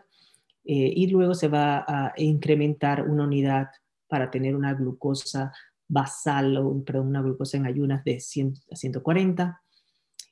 y usualmente, ¿por qué pongo NPH aquí? Porque estábamos hablando principalmente de un paciente eh, eh, que no tiene muchos recursos. Si es un paciente que tiene más recursos, entonces podemos usar un análogo de insulina de larga acción, que puede ser glargina o puede ser levenir o puede ser eh, tresiva, que son las insulinas de larga acción. Sé que es bastante para tratar de condensar esto en, un corto tiempo, pero ha sido realmente un placer. Eh, si tienen alguna pregunta, podemos resolver ahora. Eh, si no, me pueden eh, escribir a mi email para, para poder ah, seguir hablando del tema tan interesante como este. Hay muchos más detalles, pero quería darle una gran revisión de todos los estudios cardiovasculares con los diferentes medicamentos eh, para la diabetes y al final eh, hablarles un poco sobre las recientes guías de la Sociedad Americana de Diabetes que recomiendan cuando tienen diferentes tipos de... Y lo otro que les, puedo, les voy a mandar es entonces el, algoritmo de, estos medicamentos que sale en la nueva revisión de las guías de la Sociedad Americana de Diabetes. Para terminar, solamente quiero decirles un, gran placer estar con ustedes, siempre a la orden, y al final de mis diapositivas van a poder encontrar entonces las referencias de los diferentes estudios, si quieren ahondar un poco más en cuáles son los estudios que les hablé. Muchas gracias.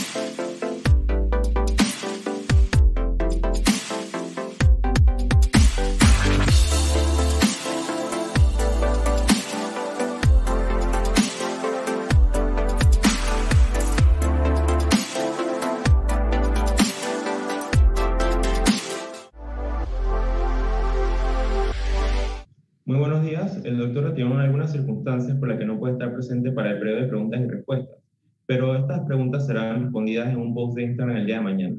Ahora empezará el periodo de receso de aproximadamente unos 7 minutos.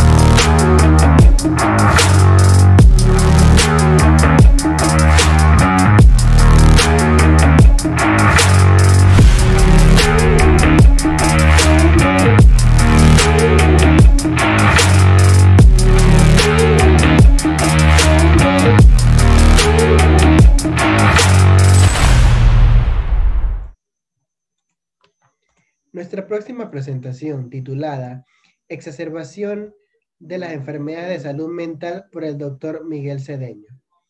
El doctor Miguel Cedeño es graduado de doctor en medicina de la Facultad de Medicina de la Universidad de Panamá. Realizó su especialidad en psiquiatría en el antiguo Hospital Psiquiátrico Nacional. Cursó estudios de posgrado sobre la problemática del uso indebido de drogas en el Centro de Estudios Avanzados de la Universidad de Buenos Aires, Argentina. Igualmente, tiene un posgrado en educación universitaria en la Universidad Interamericana de Educación a Distancia de Panamá. Tiene un doctorado en neurociencia cognitiva aplicada por la Universidad Maimónides de Buenos Aires, Argentina. Es autor de los libros La problemática del consumo de drogas en el área laboral y Factores macrosociales de la farmacodependencia a nivel distrital en Panamá.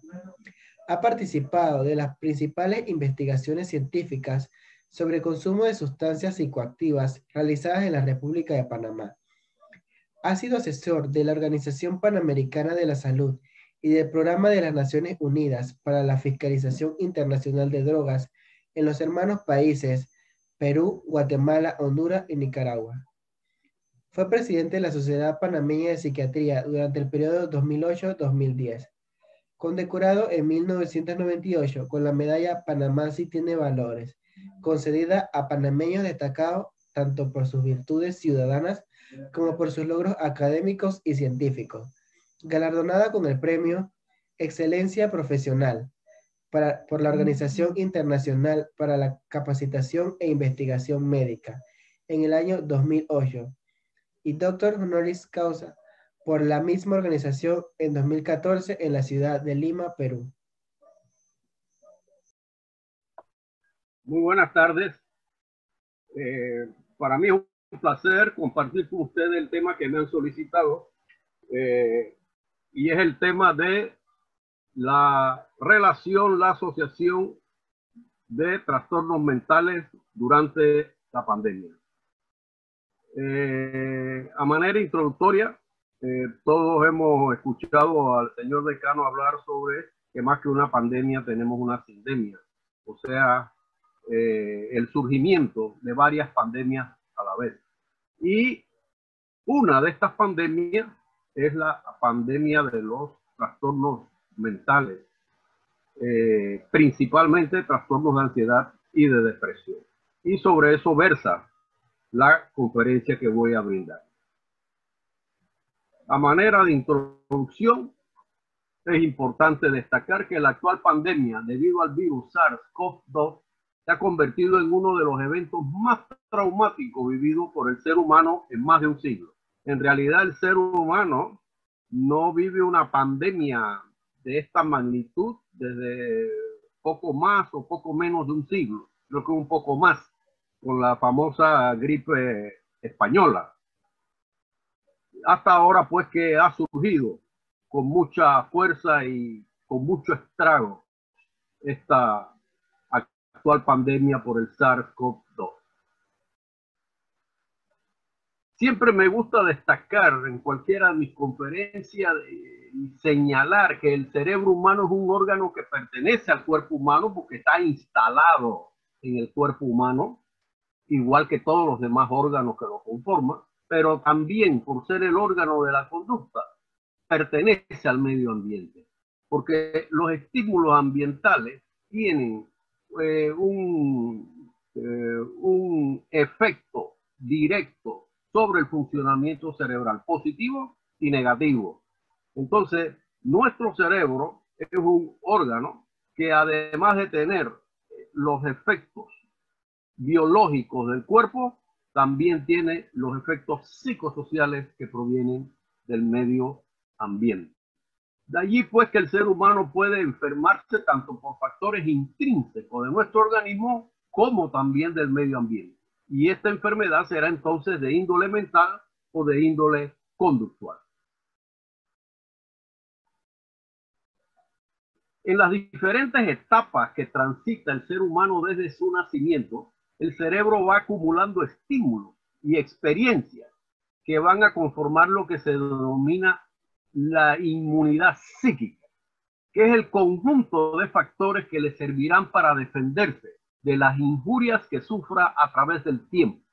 Algo parecido a lo que realizan los glóbulos blancos para defendernos de gérmenes patógenos a nivel orgánico. O sea que el cerebro también desarrolla defensa y también tiene vulnerabilidades como los procesos biológicos en el, cuerpo humano. Hay gente más predispuesta a algunas enfermedades y otras eh, eh, físicas y otras menos predispuestas a esto.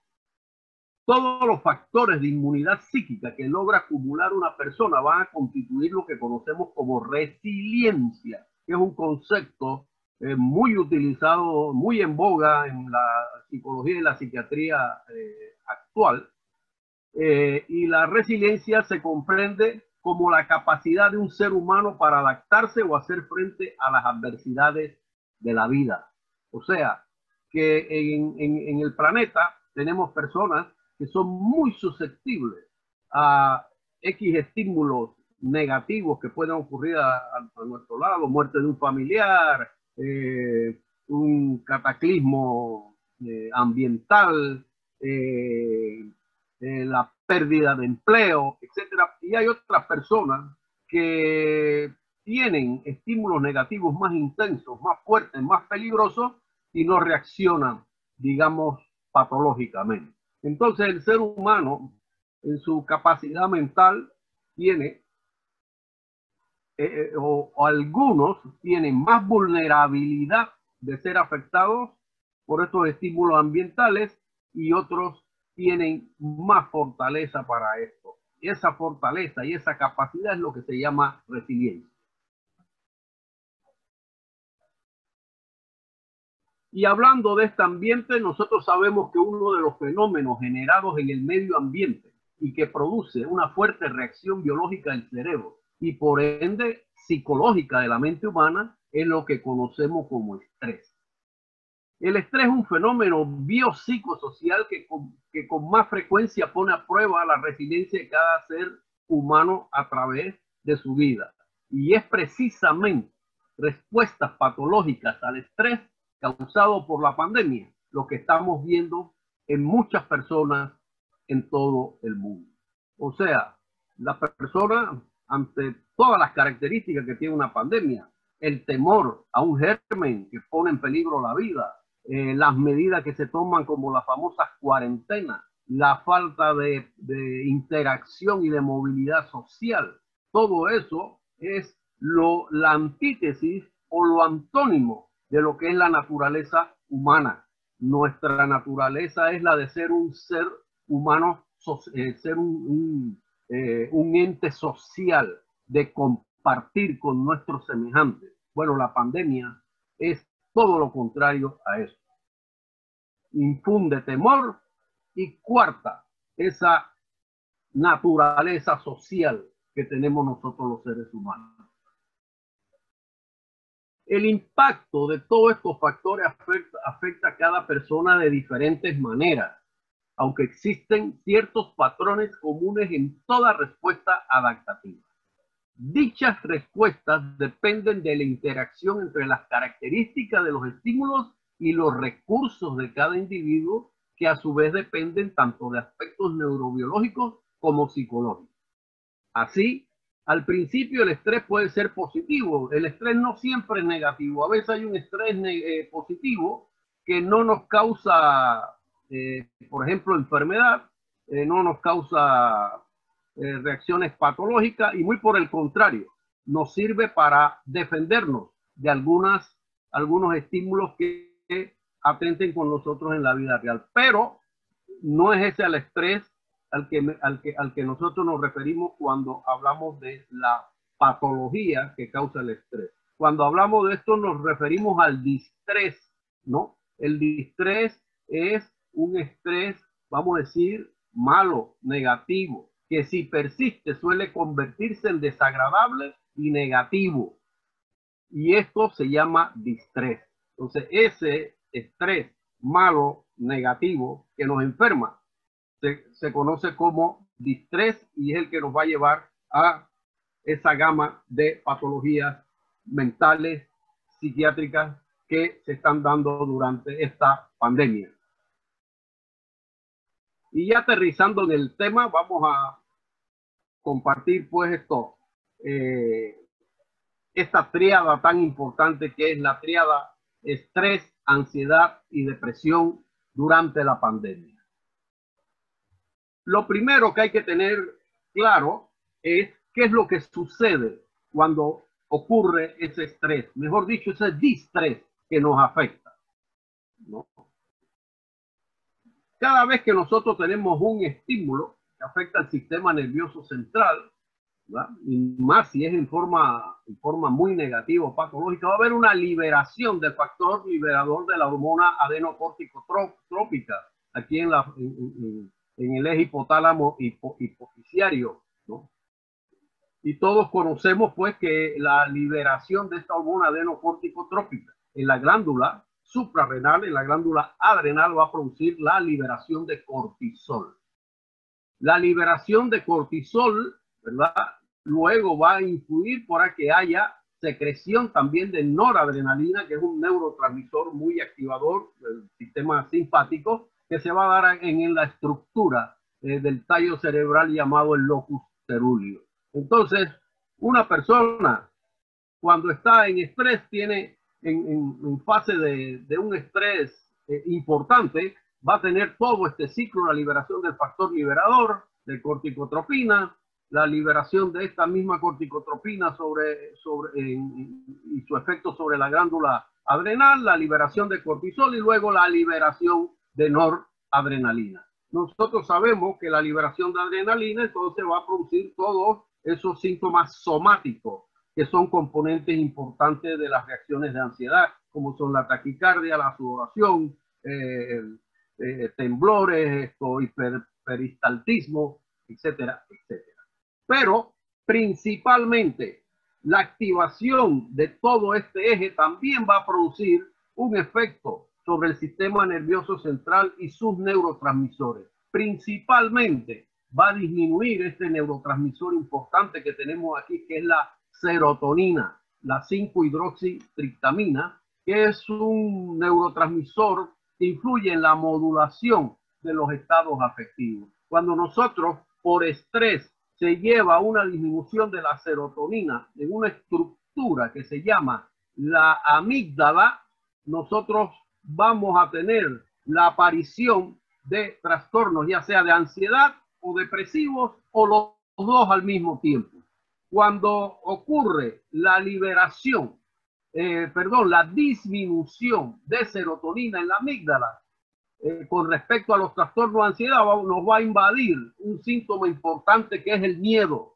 La persona se siente temerosa de una forma a veces injustificada o magnificada. Y cuando esta disminución de la serotonina, también en el eje esto, córtico estriato tálamo cortical, que es este eje que nosotros vemos aquí, también se va a producir otro síntoma de los trastornos de ansiedad, que es la preocupación. Estos dos síntomas el miedo desmedido y la preocupación desmedida son los dos síntomas cardinales de los trastornos de ansiedad. Pero no olvidar que también la disminución de serotonina en la amígdala conduce a muchos de, los trastornos depresivos. Por eso los trastornos de ansiedad y depresión tienden a aparecer en forma, eh, en forma, eh, aparecen juntos, ya que responden a un mismo proceso neurofisiopatológico.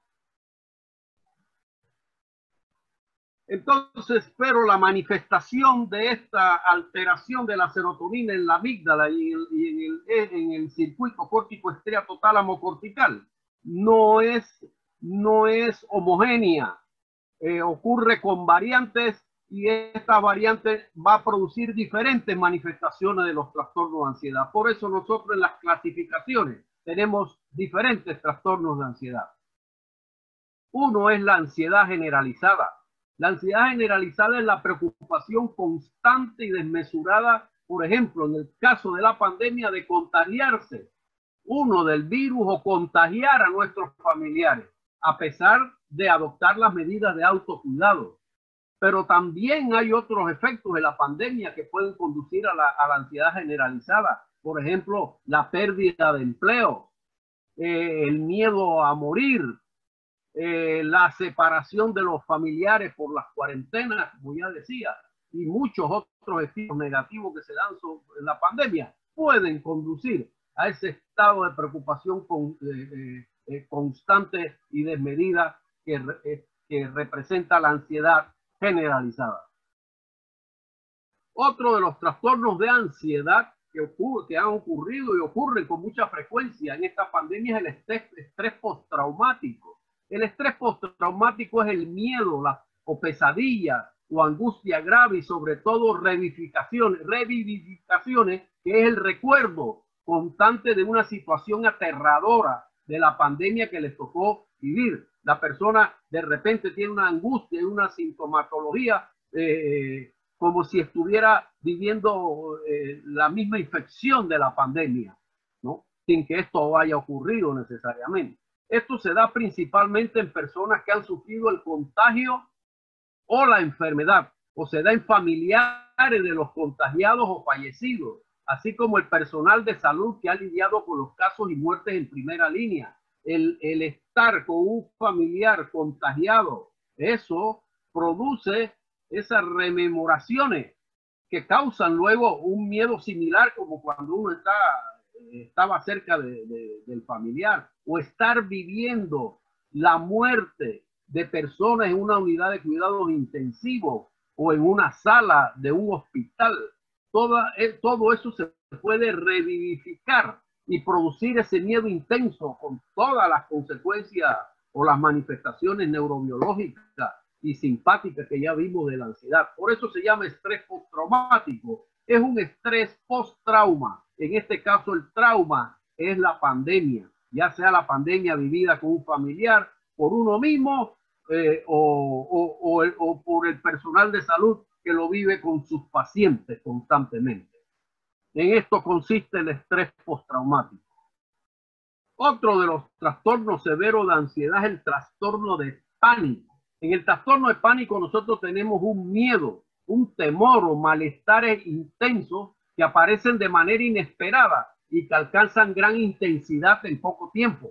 Aparecen de repente, sin que haya un estímulo necesariamente. A veces sí por un estímulo que lo, provoca, pero por lo general sin ningún estímulo que lo provoque. Se produce este miedo, este pavor que, eh, eh, que cursa con una dificultad para respirar, la persona siente que se le aprieta el pecho o que va a morir asfixiado o que tiene un infarto sin que, sin que realmente esté ocurriendo nada físicamente, ¿no? Entonces, eh, eh, uno, eh, la persona siente síntomas de dificultad para respirar y como uno de los síntomas del coronavirus es la dificultad respiratoria porque las personas escuchan que el virus afecta los pulmones y entonces esta construcción psicológica, psíquica, sirve como un disparador que dispara frecuentemente el pánico, porque la persona con este eh, trastorno de pánico que no puede respirar, entonces lo asocia, que lo puede asociar a que es causado por el virus que afecta los pulmones. De igual forma, la dificultad para respirar con mascarilla también sirve para, eh, como gatillo para disparar este trastorno, porque sea como sea, la mascarilla es un obstáculo para, para respirar y algunos pacientes susceptible de trastorno de pánico, puede que este estímulo de la mascarilla, con, limitando la respiración, pueda hacer que se dispare el trastorno de pánico. También la fobia específica. La fobia específica es también un miedo abrumador, un temor abrumador a determinadas cosas. Hay muchísimas fobias. Por ejemplo, hay gente que le tiene fobia a las cucarachas, a las ratas, a la oscuridad, a la sangre, a las alturas, etcétera, etcétera, etcétera. En el caso nuestro, la fobia específica se da por un temor abrumador e irracional al coronavirus, que es el factor que eh, eh, la persona, a, al que la persona le teme en este, en este momento. La diferencia entre la fobia específica y el pánico es que por lo general la fobia específica siempre tiene un estímulo al cual la persona le teme en el trastorno de pánico no necesariamente existe a veces estímulo que lo desencadene. Los trastornos obsesivos compulsivos, otro de los trastornos que están surgiendo con esta pandemia. Esto consiste en un patrón de pensamientos y miedos irracionales al contagio, que son las obsesiones, ¿no? Entonces, hay pensamientos constantes que abruman, que torturan al paciente, todo relacionado con el coronavirus. Y estos pueden hacer que la persona tenga entonces comportamientos repetitivos, que son lo que se llaman las compulsiones. La obsesión es una alteración del pensamiento. La compulsión es una alteración de la motricidad. Entonces se combinan ambos para formar el famoso trastorno obsesivo compulsivo conocido comúnmente como el TOC.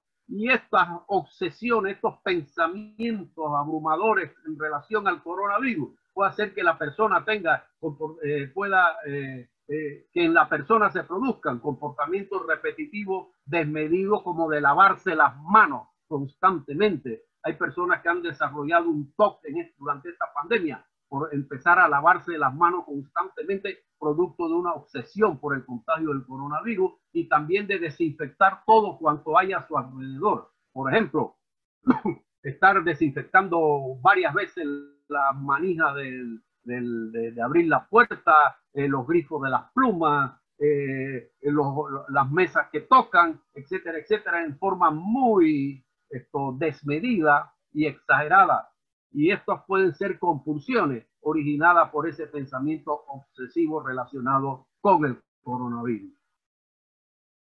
Otro de los trastornos del grupo de, considerado de la ansiedad, no propiamente dentro de, la clasificación del DSM-5, que lo, lo clasifican en, en, otro grupo, pero que está muy relacionado a los trastornos de ansiedad, son los trastornos de adaptación, que son respuestas con acusado malestar superior, superior al esperable con relación al virus, afectando esto la actividad social, profesional o académica del paciente. Nosotros tenemos muchos profesionales que tienen problemas de adaptación con el coronavirus y esto impide que puedan atender eh, de manera normal o de manera, eh, de manera como corrientemente lo hacen, porque siempre está el temor eh, de la pandemia y el miedo a contagiarme y entonces no hay una adaptación, vamos a decir así, al consultorio a la relación médico-paciente como ocurría antes de la pandemia.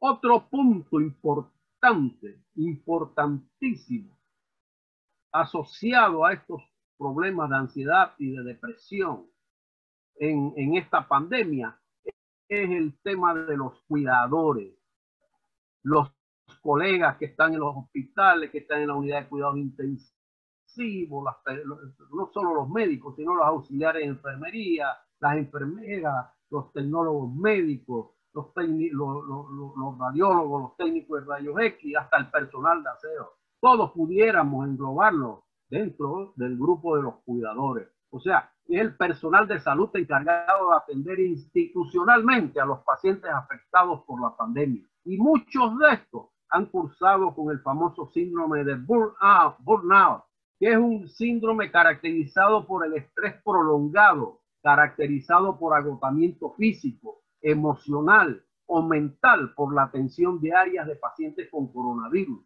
causándoles esto afectación de su autoestima y hasta cuadros eh, depresivos. Es famoso el, caso de aquella doctora eh, en Nueva York que eh, se contagió del coronavirus, superó el coronavirus, regresó a trabajar y luego se provocó un suicidio.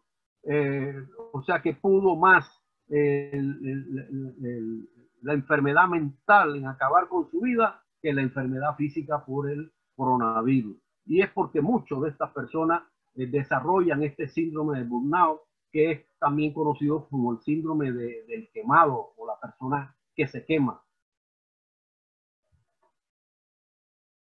Hay otro síndrome psíquico mental importante en esta pandemia y está asociado también con los trabajadores de la salud que han cursado con un desorden conocido como el MUI. ¿Qué es el MUI? Es un cuadro clínico caracterizado por elevados niveles de ansiedad y depresión por haber sufrido acoso moral, u otro tipo de hostigamiento psicológico sostenido de parte de ciudadanos en la calle, comercios o medios de transporte que lo rechazan por considerarlo una fuente de contagio de la enfermedad. Recuerden que al principio de la pandemia hubo muchos problemas porque en los locales, en los supermercados, en los almacenes, en el transporte público, no querían recibir a trabajadores que identificaban como trabajadores de la, salud por su uniforme o algo, porque los consideraban agentes contagiantes del, coronavirus. Y esto en muchas personas tiene un efecto negativo hasta constituirse en un cuadro que se conoce como el MUVI. El estigma del MUVI alcanza también a aquellos que sufrieron el contagio, superaron la enfermedad. Recuerde que también al principio, todo el que había tenido COVID, nadie lo quería cerca, a pesar de que ya había eh, desaparecido el periodo en que podían contagiar. Ahora, no quiero hacer solamente una descripción de estos trastornos, de estos trastornos mentales, sin, sin dejar de agregar algunas medidas de índole psicológica, de índole psiquiátrico, de índole de, proveniente de la salud mental. Luego, ¿cómo ayudarnos? ¿Cómo poder ayudar también?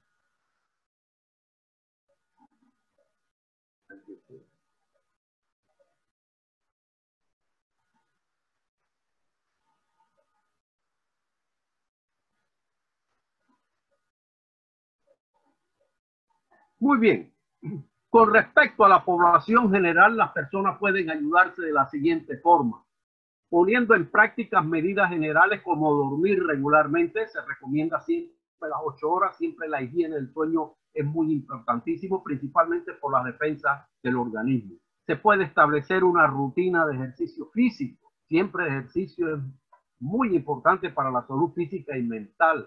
Practicar actividades placenteras o lúdicas, ya puede ser el bailar, el cantar, el cocinar, juegos de mesa, etcétera, lo que le guste al individuo, lo que más le plazca, lo que más lo gratifique. Respirar aire fresco y tomar luz solar siempre que sea posible. Sabemos que uno de los factores preventivos del, eh, ante el coronavirus es tener aire fresco. Sabemos que el hacinamiento y el aire pesado promueve la contaminación del coronavirus. También hay que tratar de llevar una buena alimentación, tomar cantidades adecuadas de agua y evitar el abuso de alcohol, ¿verdad? Por lo menos en esta, en, esta pandemia se debe eh, no abusar del, del, del alcohol e hidratarse bien y alimentarse bien. Todo esto fortalece nuestras defensas físicas y mentales si se tiene acceso a teléfono u otros medios tecnológicos, mantener comunicación y redes de intercambio positivo con amigos y familiares. El distanciamiento personal o el distanciamiento social sea lo menos traumático posible y si ahora tenemos el recurso de las plataformas del Internet, tenemos que mitigar esa falta de contacto directo utilizando estas tecnologías. También hay que evitar noticias de fuentes no confiables y chats que promueven informaciones falsas y mensajes negativos, principalmente los que infunden temor. La red, ya ustedes lo saben, está inundada de más informaciones falsas que verdaderas. La mayoría promoviendo dos temas importantes, infundiendo temor a la población y la política de la antivacuna y de la eh, se me olvida ahora el, las teorías con, conspirativas. Eso está lleno y eso confunde a la población y repercute negativamente en la sociedad. A las personas creyentes, la relación y rutina con respecto a su fe constituye otro factor de apoyo importante para los creyentes. Siempre el contacto eh, con su ser supremo es importante y, y, es un factor de fortaleza mental.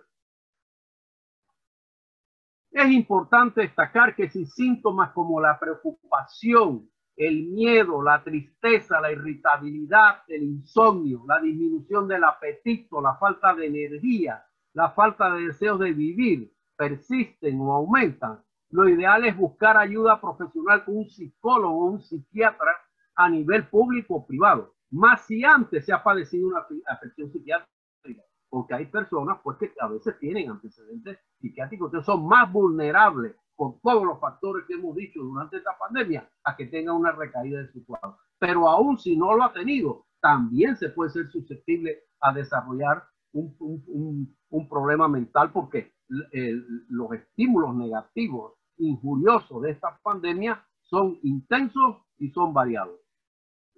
Ya el terapeuta que, al que se recurra determinará entonces las pautas de tratamiento a seguir.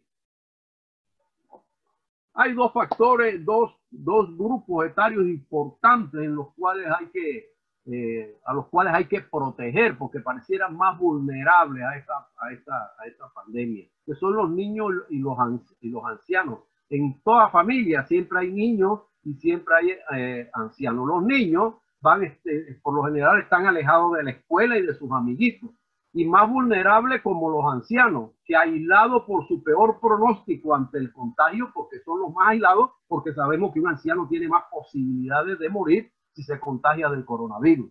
Sufre una gran soledad. A los primeros, o sea, a los niños no hay que mostrarles ansiedad ante la crisis, no exponerlos a noticias desalentadoras y responderles adecuadamente las preguntas que tengan sobre el particular, claro, con un lenguaje a tono para su edad aparte de crearles alguna rutina de estudio y de juego. A los ancianos hay que demostrarle amor, interés, establecer conversaciones e interacciones agradables con ellos. También evitarles la sobreinformación porque crean temor. Ponerle algo de humor a sus actividades cotidianas e igualmente establecerle una rutina de actividades variadas que los entretenga. Entonces estos dos grupos hay que practicar, eh, hay que tener herramientas para manejarlos durante esta pandemia. Volviendo a los cuidadores, algunas medidas con ellos. Los mismos están viviendo eventos disruptivos que provocan percepciones amenazadoras de la realidad, ya que viven, vivencian el riesgo de contaminación, además del sufrimiento y la muerte de las personas que cuidan. Todo lo anterior agravado por la separación cada vez más larga de sus seres queridos. Acuérdense que al estar en, un medio de contagio, el personal de salud tiene que vivir separado de sus seres queridos, de sus familiares, y esto causa un, un golpe anímico muy importante. Los escasos recursos de seguridad y la responsabilidad de proteger del contagio a sus compañeros y familiares, porque también la persona, el trabajador de salud tiene dos efectos. El primero, estar separado de su familiar y segundo, el temor constante de contagiarlo debido a que él viene de un ambiente de alto riesgo de contagio. Entonces a los cuidadores se les recomienda identificar los síntomas de estrés, ansiedad y depresión también y comunicárselo a sus superiores.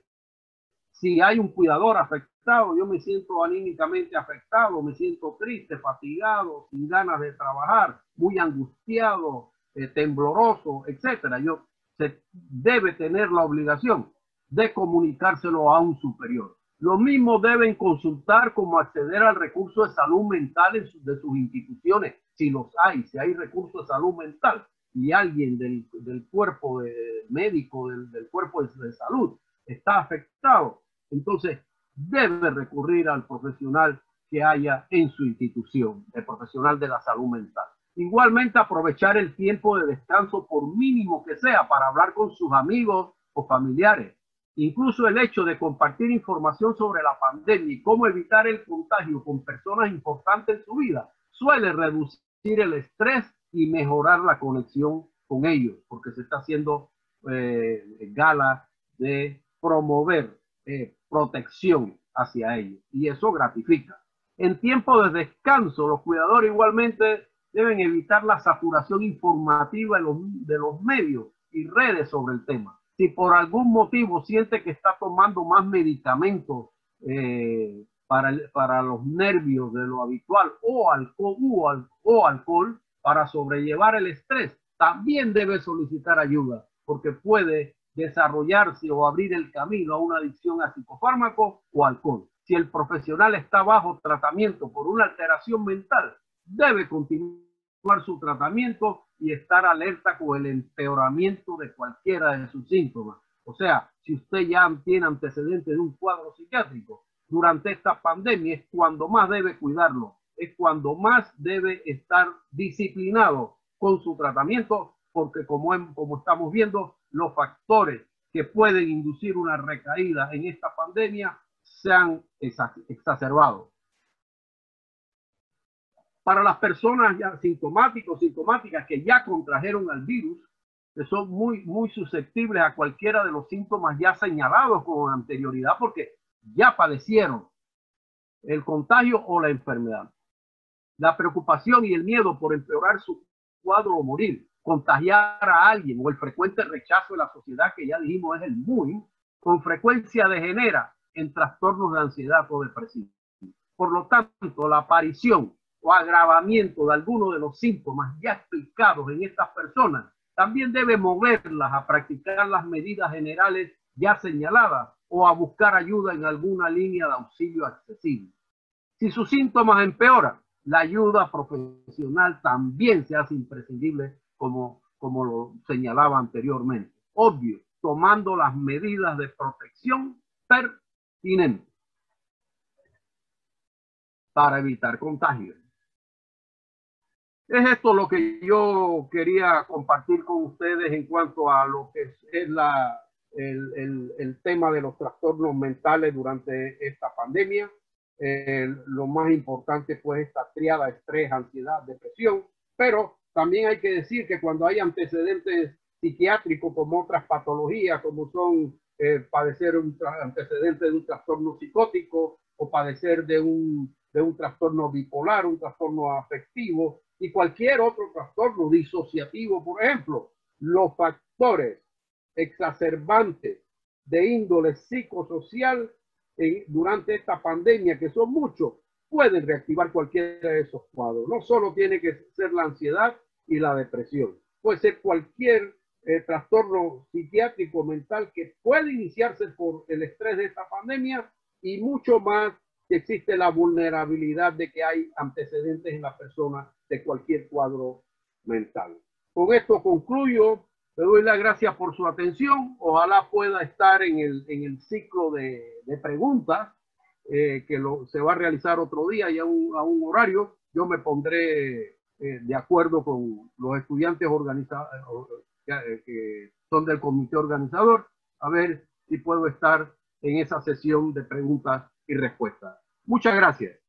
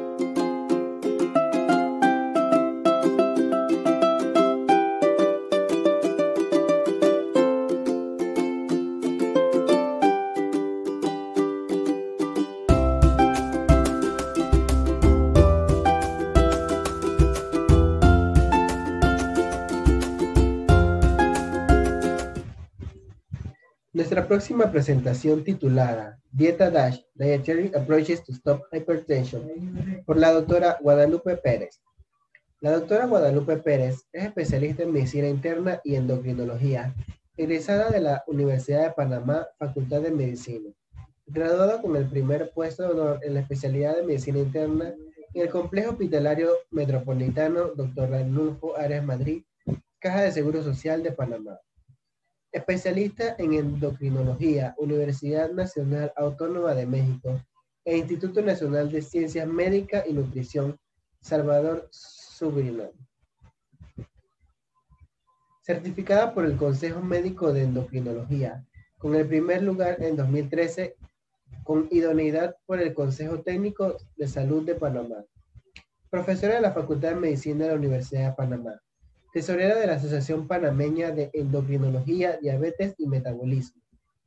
Expositora nacional e internacional sobre temas de diabetes, tiroides, dislipidemia y otros temas de endocrinología.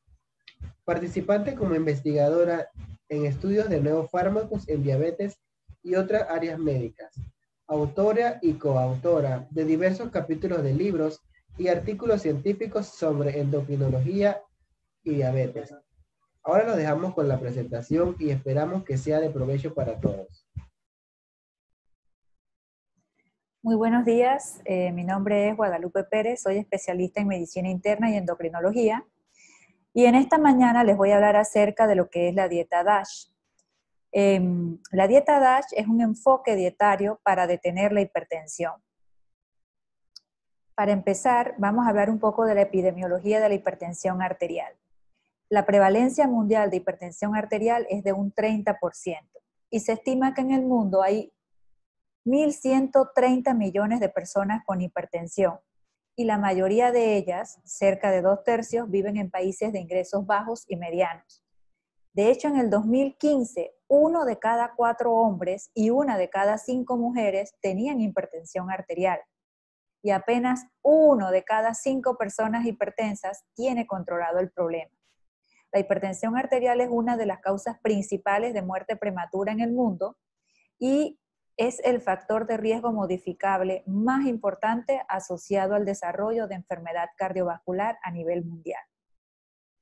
Entonces, en Panamá, ¿qué tenemos? En Panamá, el estudio que nos habla de la prevalencia de factores de riesgo asociados a enfermedad cardiovascular es el estudio PREFREC, que como sabemos es un estudio que se realizó del 2010 al 2011 en las provincias de Panamá y Colón con una muestra representativa de 3.590 personas eh, mayores de 18 años de edad, de los cuales 1.074 eran hombres y 2.516 eran mujeres.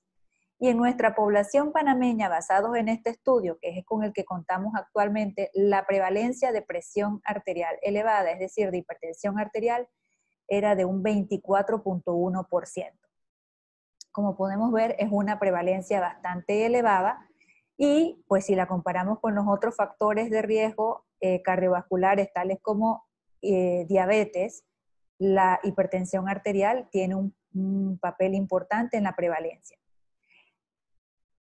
Entonces, ya enfocándonos en lo que es la dieta DASH. Bueno, la dieta DASH fue desarrollada por el Instituto Nacional del Corazón, Pulmón y Sangre, pertenecientes a los Institutos Nacionales de Salud de los Estados Unidos, que es el National Institute of Health. Y el enfoque era pues hacer un plan nutricional para reducir la hipertensión arterial y los niveles elevados de colesterol LDL. El origen se remonta a los años 90 y los autores más importantes que se describen son Apple en 1997 y Volmer en el 2001, en donde ellos comparaban esta dieta con otros tipos de dietas para evaluar el efecto de la misma sobre la hipertensión arterial. Entonces, digamos que las búsquedas en Google se hacen mucho más eh,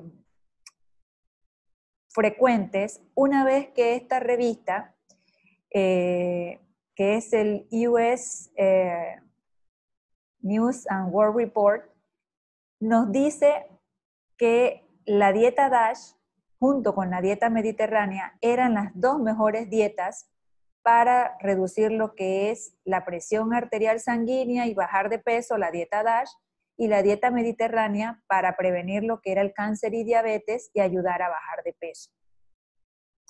Entonces, estas eh, panel de expertos evalúa en un puntaje total de 5 diferentes aspectos de la dieta DASH y de lo que es la dieta mediterránea. Y se puede observar que la dieta DASH para bajar peso a corto plazo tenía un puntaje de 3 sobre 5, para bajar peso a largo plazo de 3.3 sobre 5, que era fácil de seguir porque no era un plan nutricional tan elaborado de 3.4 sobre 5 y saludable 4.8 sobre 5.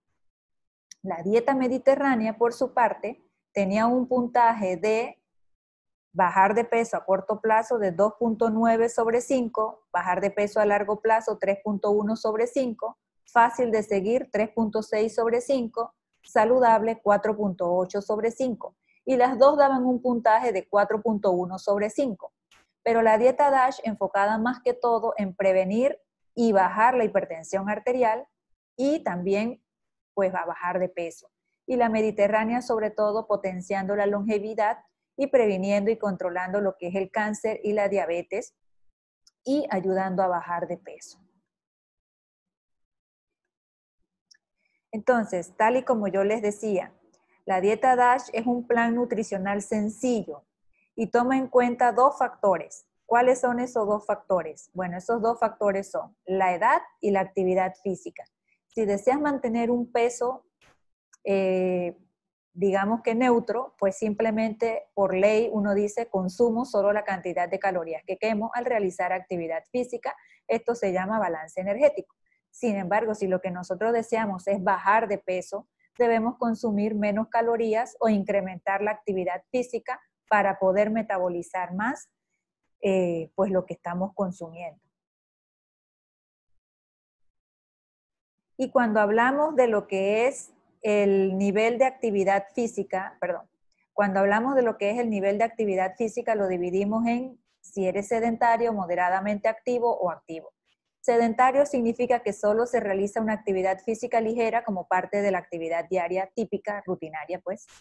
Moderadamente activo, que realizas una actividad física equivalente a caminar de 1.5 a 3 millas por día o 3 a 4 millas por hora más actividad física ligera.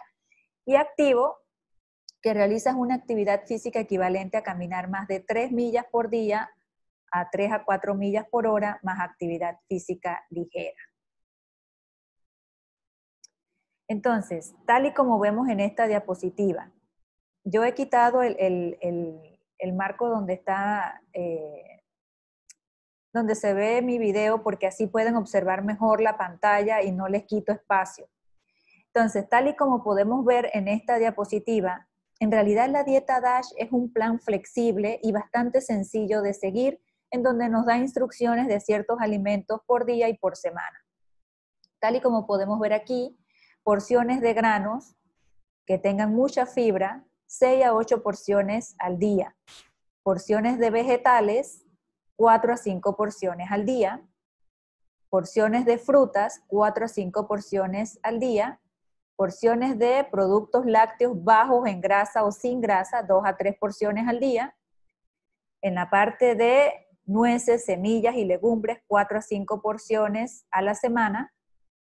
Carnes, sobre todo, pescado, pollo, aves, menos de seis porciones al día.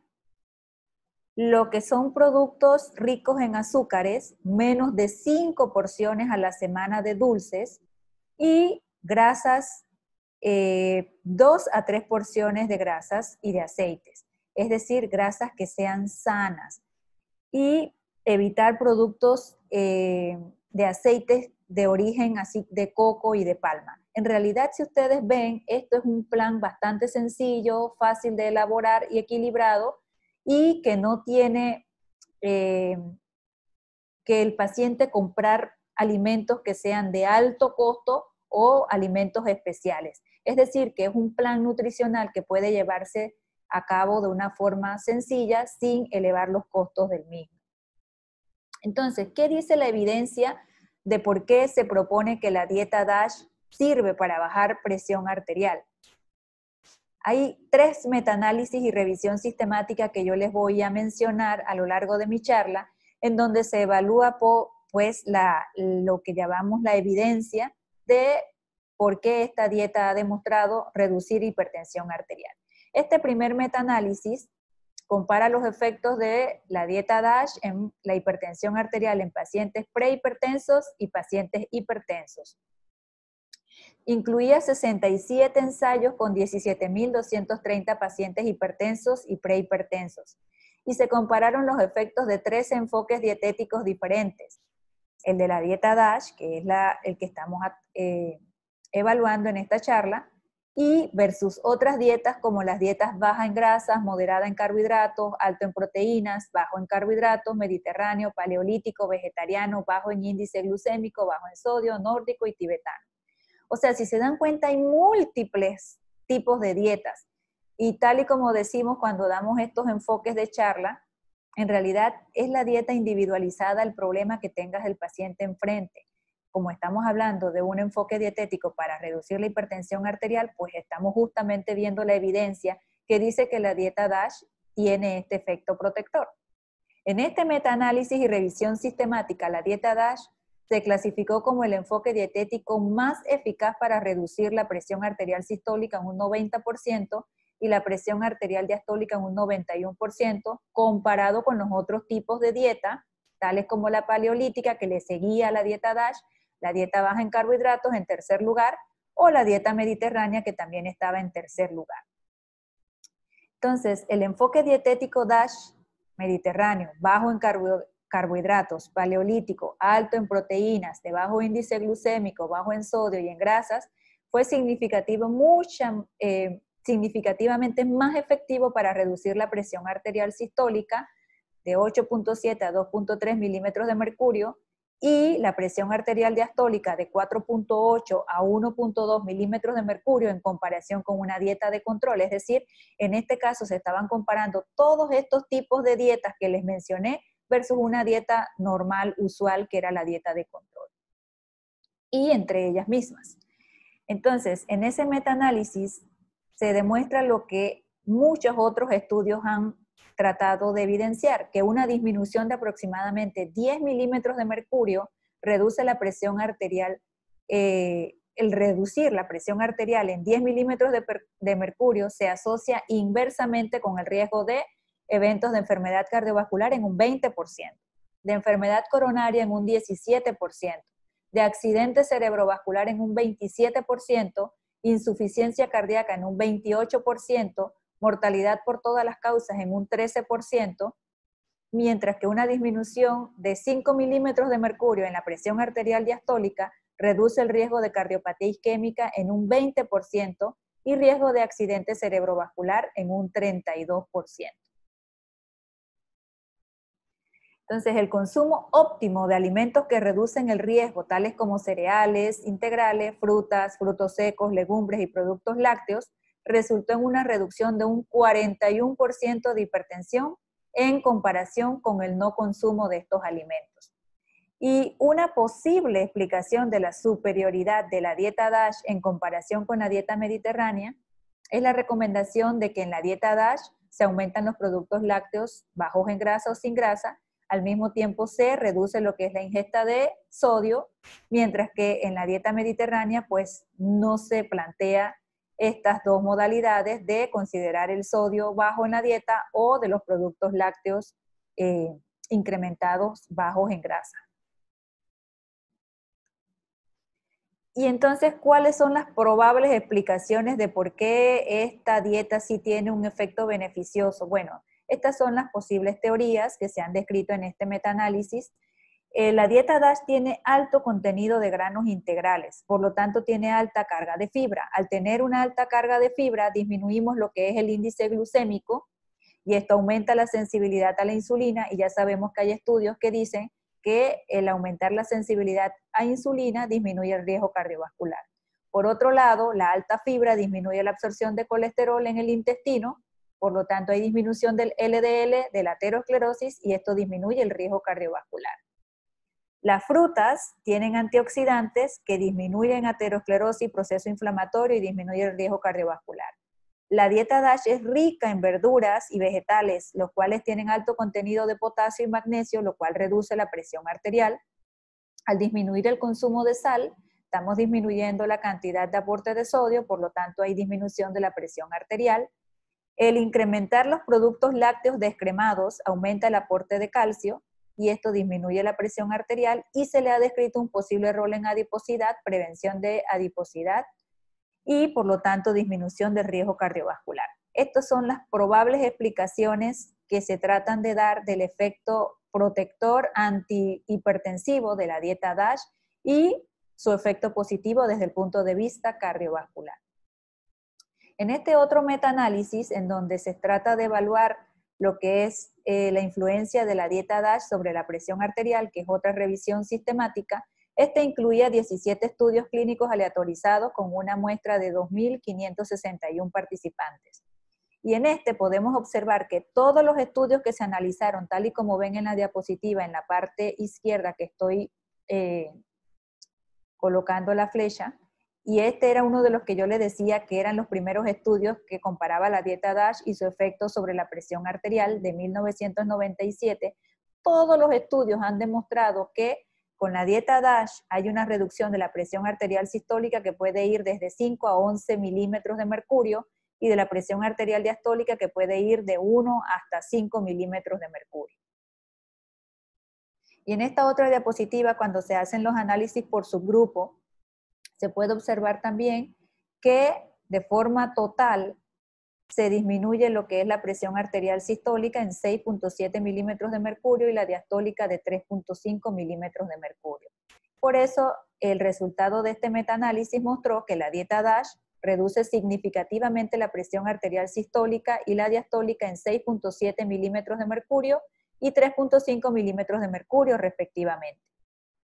Y este es el tercer metaanálisis y revisión sistemática que les quería eh, presentar, en donde la American Society for Nutrition del 2020 trata de hacer una revisión sistemática y metaanálisis en donde se evalúa la dieta DASH y sus efectos sobre la presión arterial en adultos con y sin hipertensión.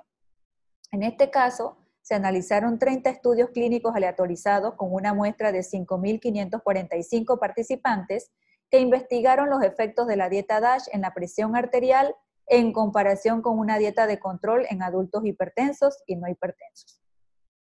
Y tal y como podemos ver en esta diapositiva, en donde aquí yo les he subrayado en rojo los pacientes hipertensos y los no hipertensos y su efecto positivo de la dieta DASH sobre lo que es la presión arterial sistólica y diastólica.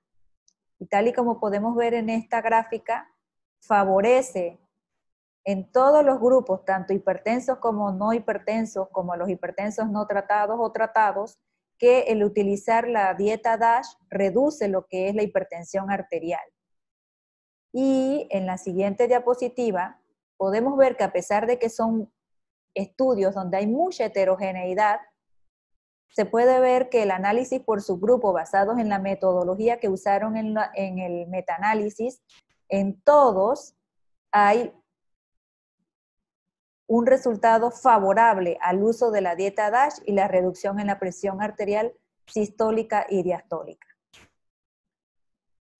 Y ya los resultados del metaanálisis ponen en comparación con una dieta de control, la dieta DASH redujo tanto la presión arterial sistólica como diastólica de 3.2 a 2.5 milímetros de mercurio respectivamente de una forma estadísticamente significativa. Tal y como pudimos ver en las eh, gráficas, el estado de hipertensión no modificó el efecto sobre la reducción de la presión arterial, pues redujo tanto en pacientes hipertensos como normotensos, es decir, prevención para pasar a hipertensión. Y la dieta DASH en comparación con una dieta de control redujo los niveles de presión arterial sistólica en mayor medida en los ensayos que tenían una ingesta arriba de 2.4 gramos por día de sodio versus menos 2.4 gramos por día de sodio, lo cual es esperado porque si tenemos una dieta baja en sodio, pues vamos a tener un efecto más protector para reducir hipertensión arterial.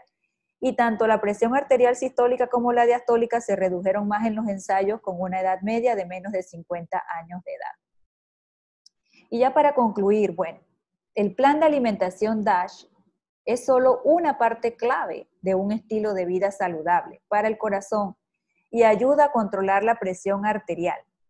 Ya sabemos que el consumo de sal menos de 2 gramos por día en hipertensos y menos de 1.5 gramos por día en hipertensos que no están controlados es favorable desde el punto de vista cardiovascular. Sin embargo, no podemos considerar nada más una sola cosa cuando hablamos de, eh, de ciertos problemas desde el punto de vista cardiovascular, pues hay que considerar otros aspectos que pueden mejorar la calidad de vida y la salud desde el punto de vista cardiovascular, tales como cuáles. Realizar actividad física, limitar la ingesta de alcohol, manejar y afrontar el estrés, dormir lo suficiente y cese del tabaquismo. Y otra cosa importante es que existen múltiples tipos de dietas, pero recuerden, hay que individualizar al paciente y enfocarnos en qué necesitamos controlarle a ese paciente y decirles que es un manejo integral, en donde vas a controlar la parte dietética, individualizando las comorbilidades y al paciente, tomar en cuenta los otros factores de riesgo cardiovascular que puedo modificar y obviamente también complementando, porque es todo un engranaje, si tienes hipertensión, probablemente tienes diabetes, controlando la diabetes, los otros factores de riesgo cardiovascular y el tratamiento farmacológico pues va a ser mucho más beneficioso para el paciente. Bueno, entonces esta era la, eh, la presentación.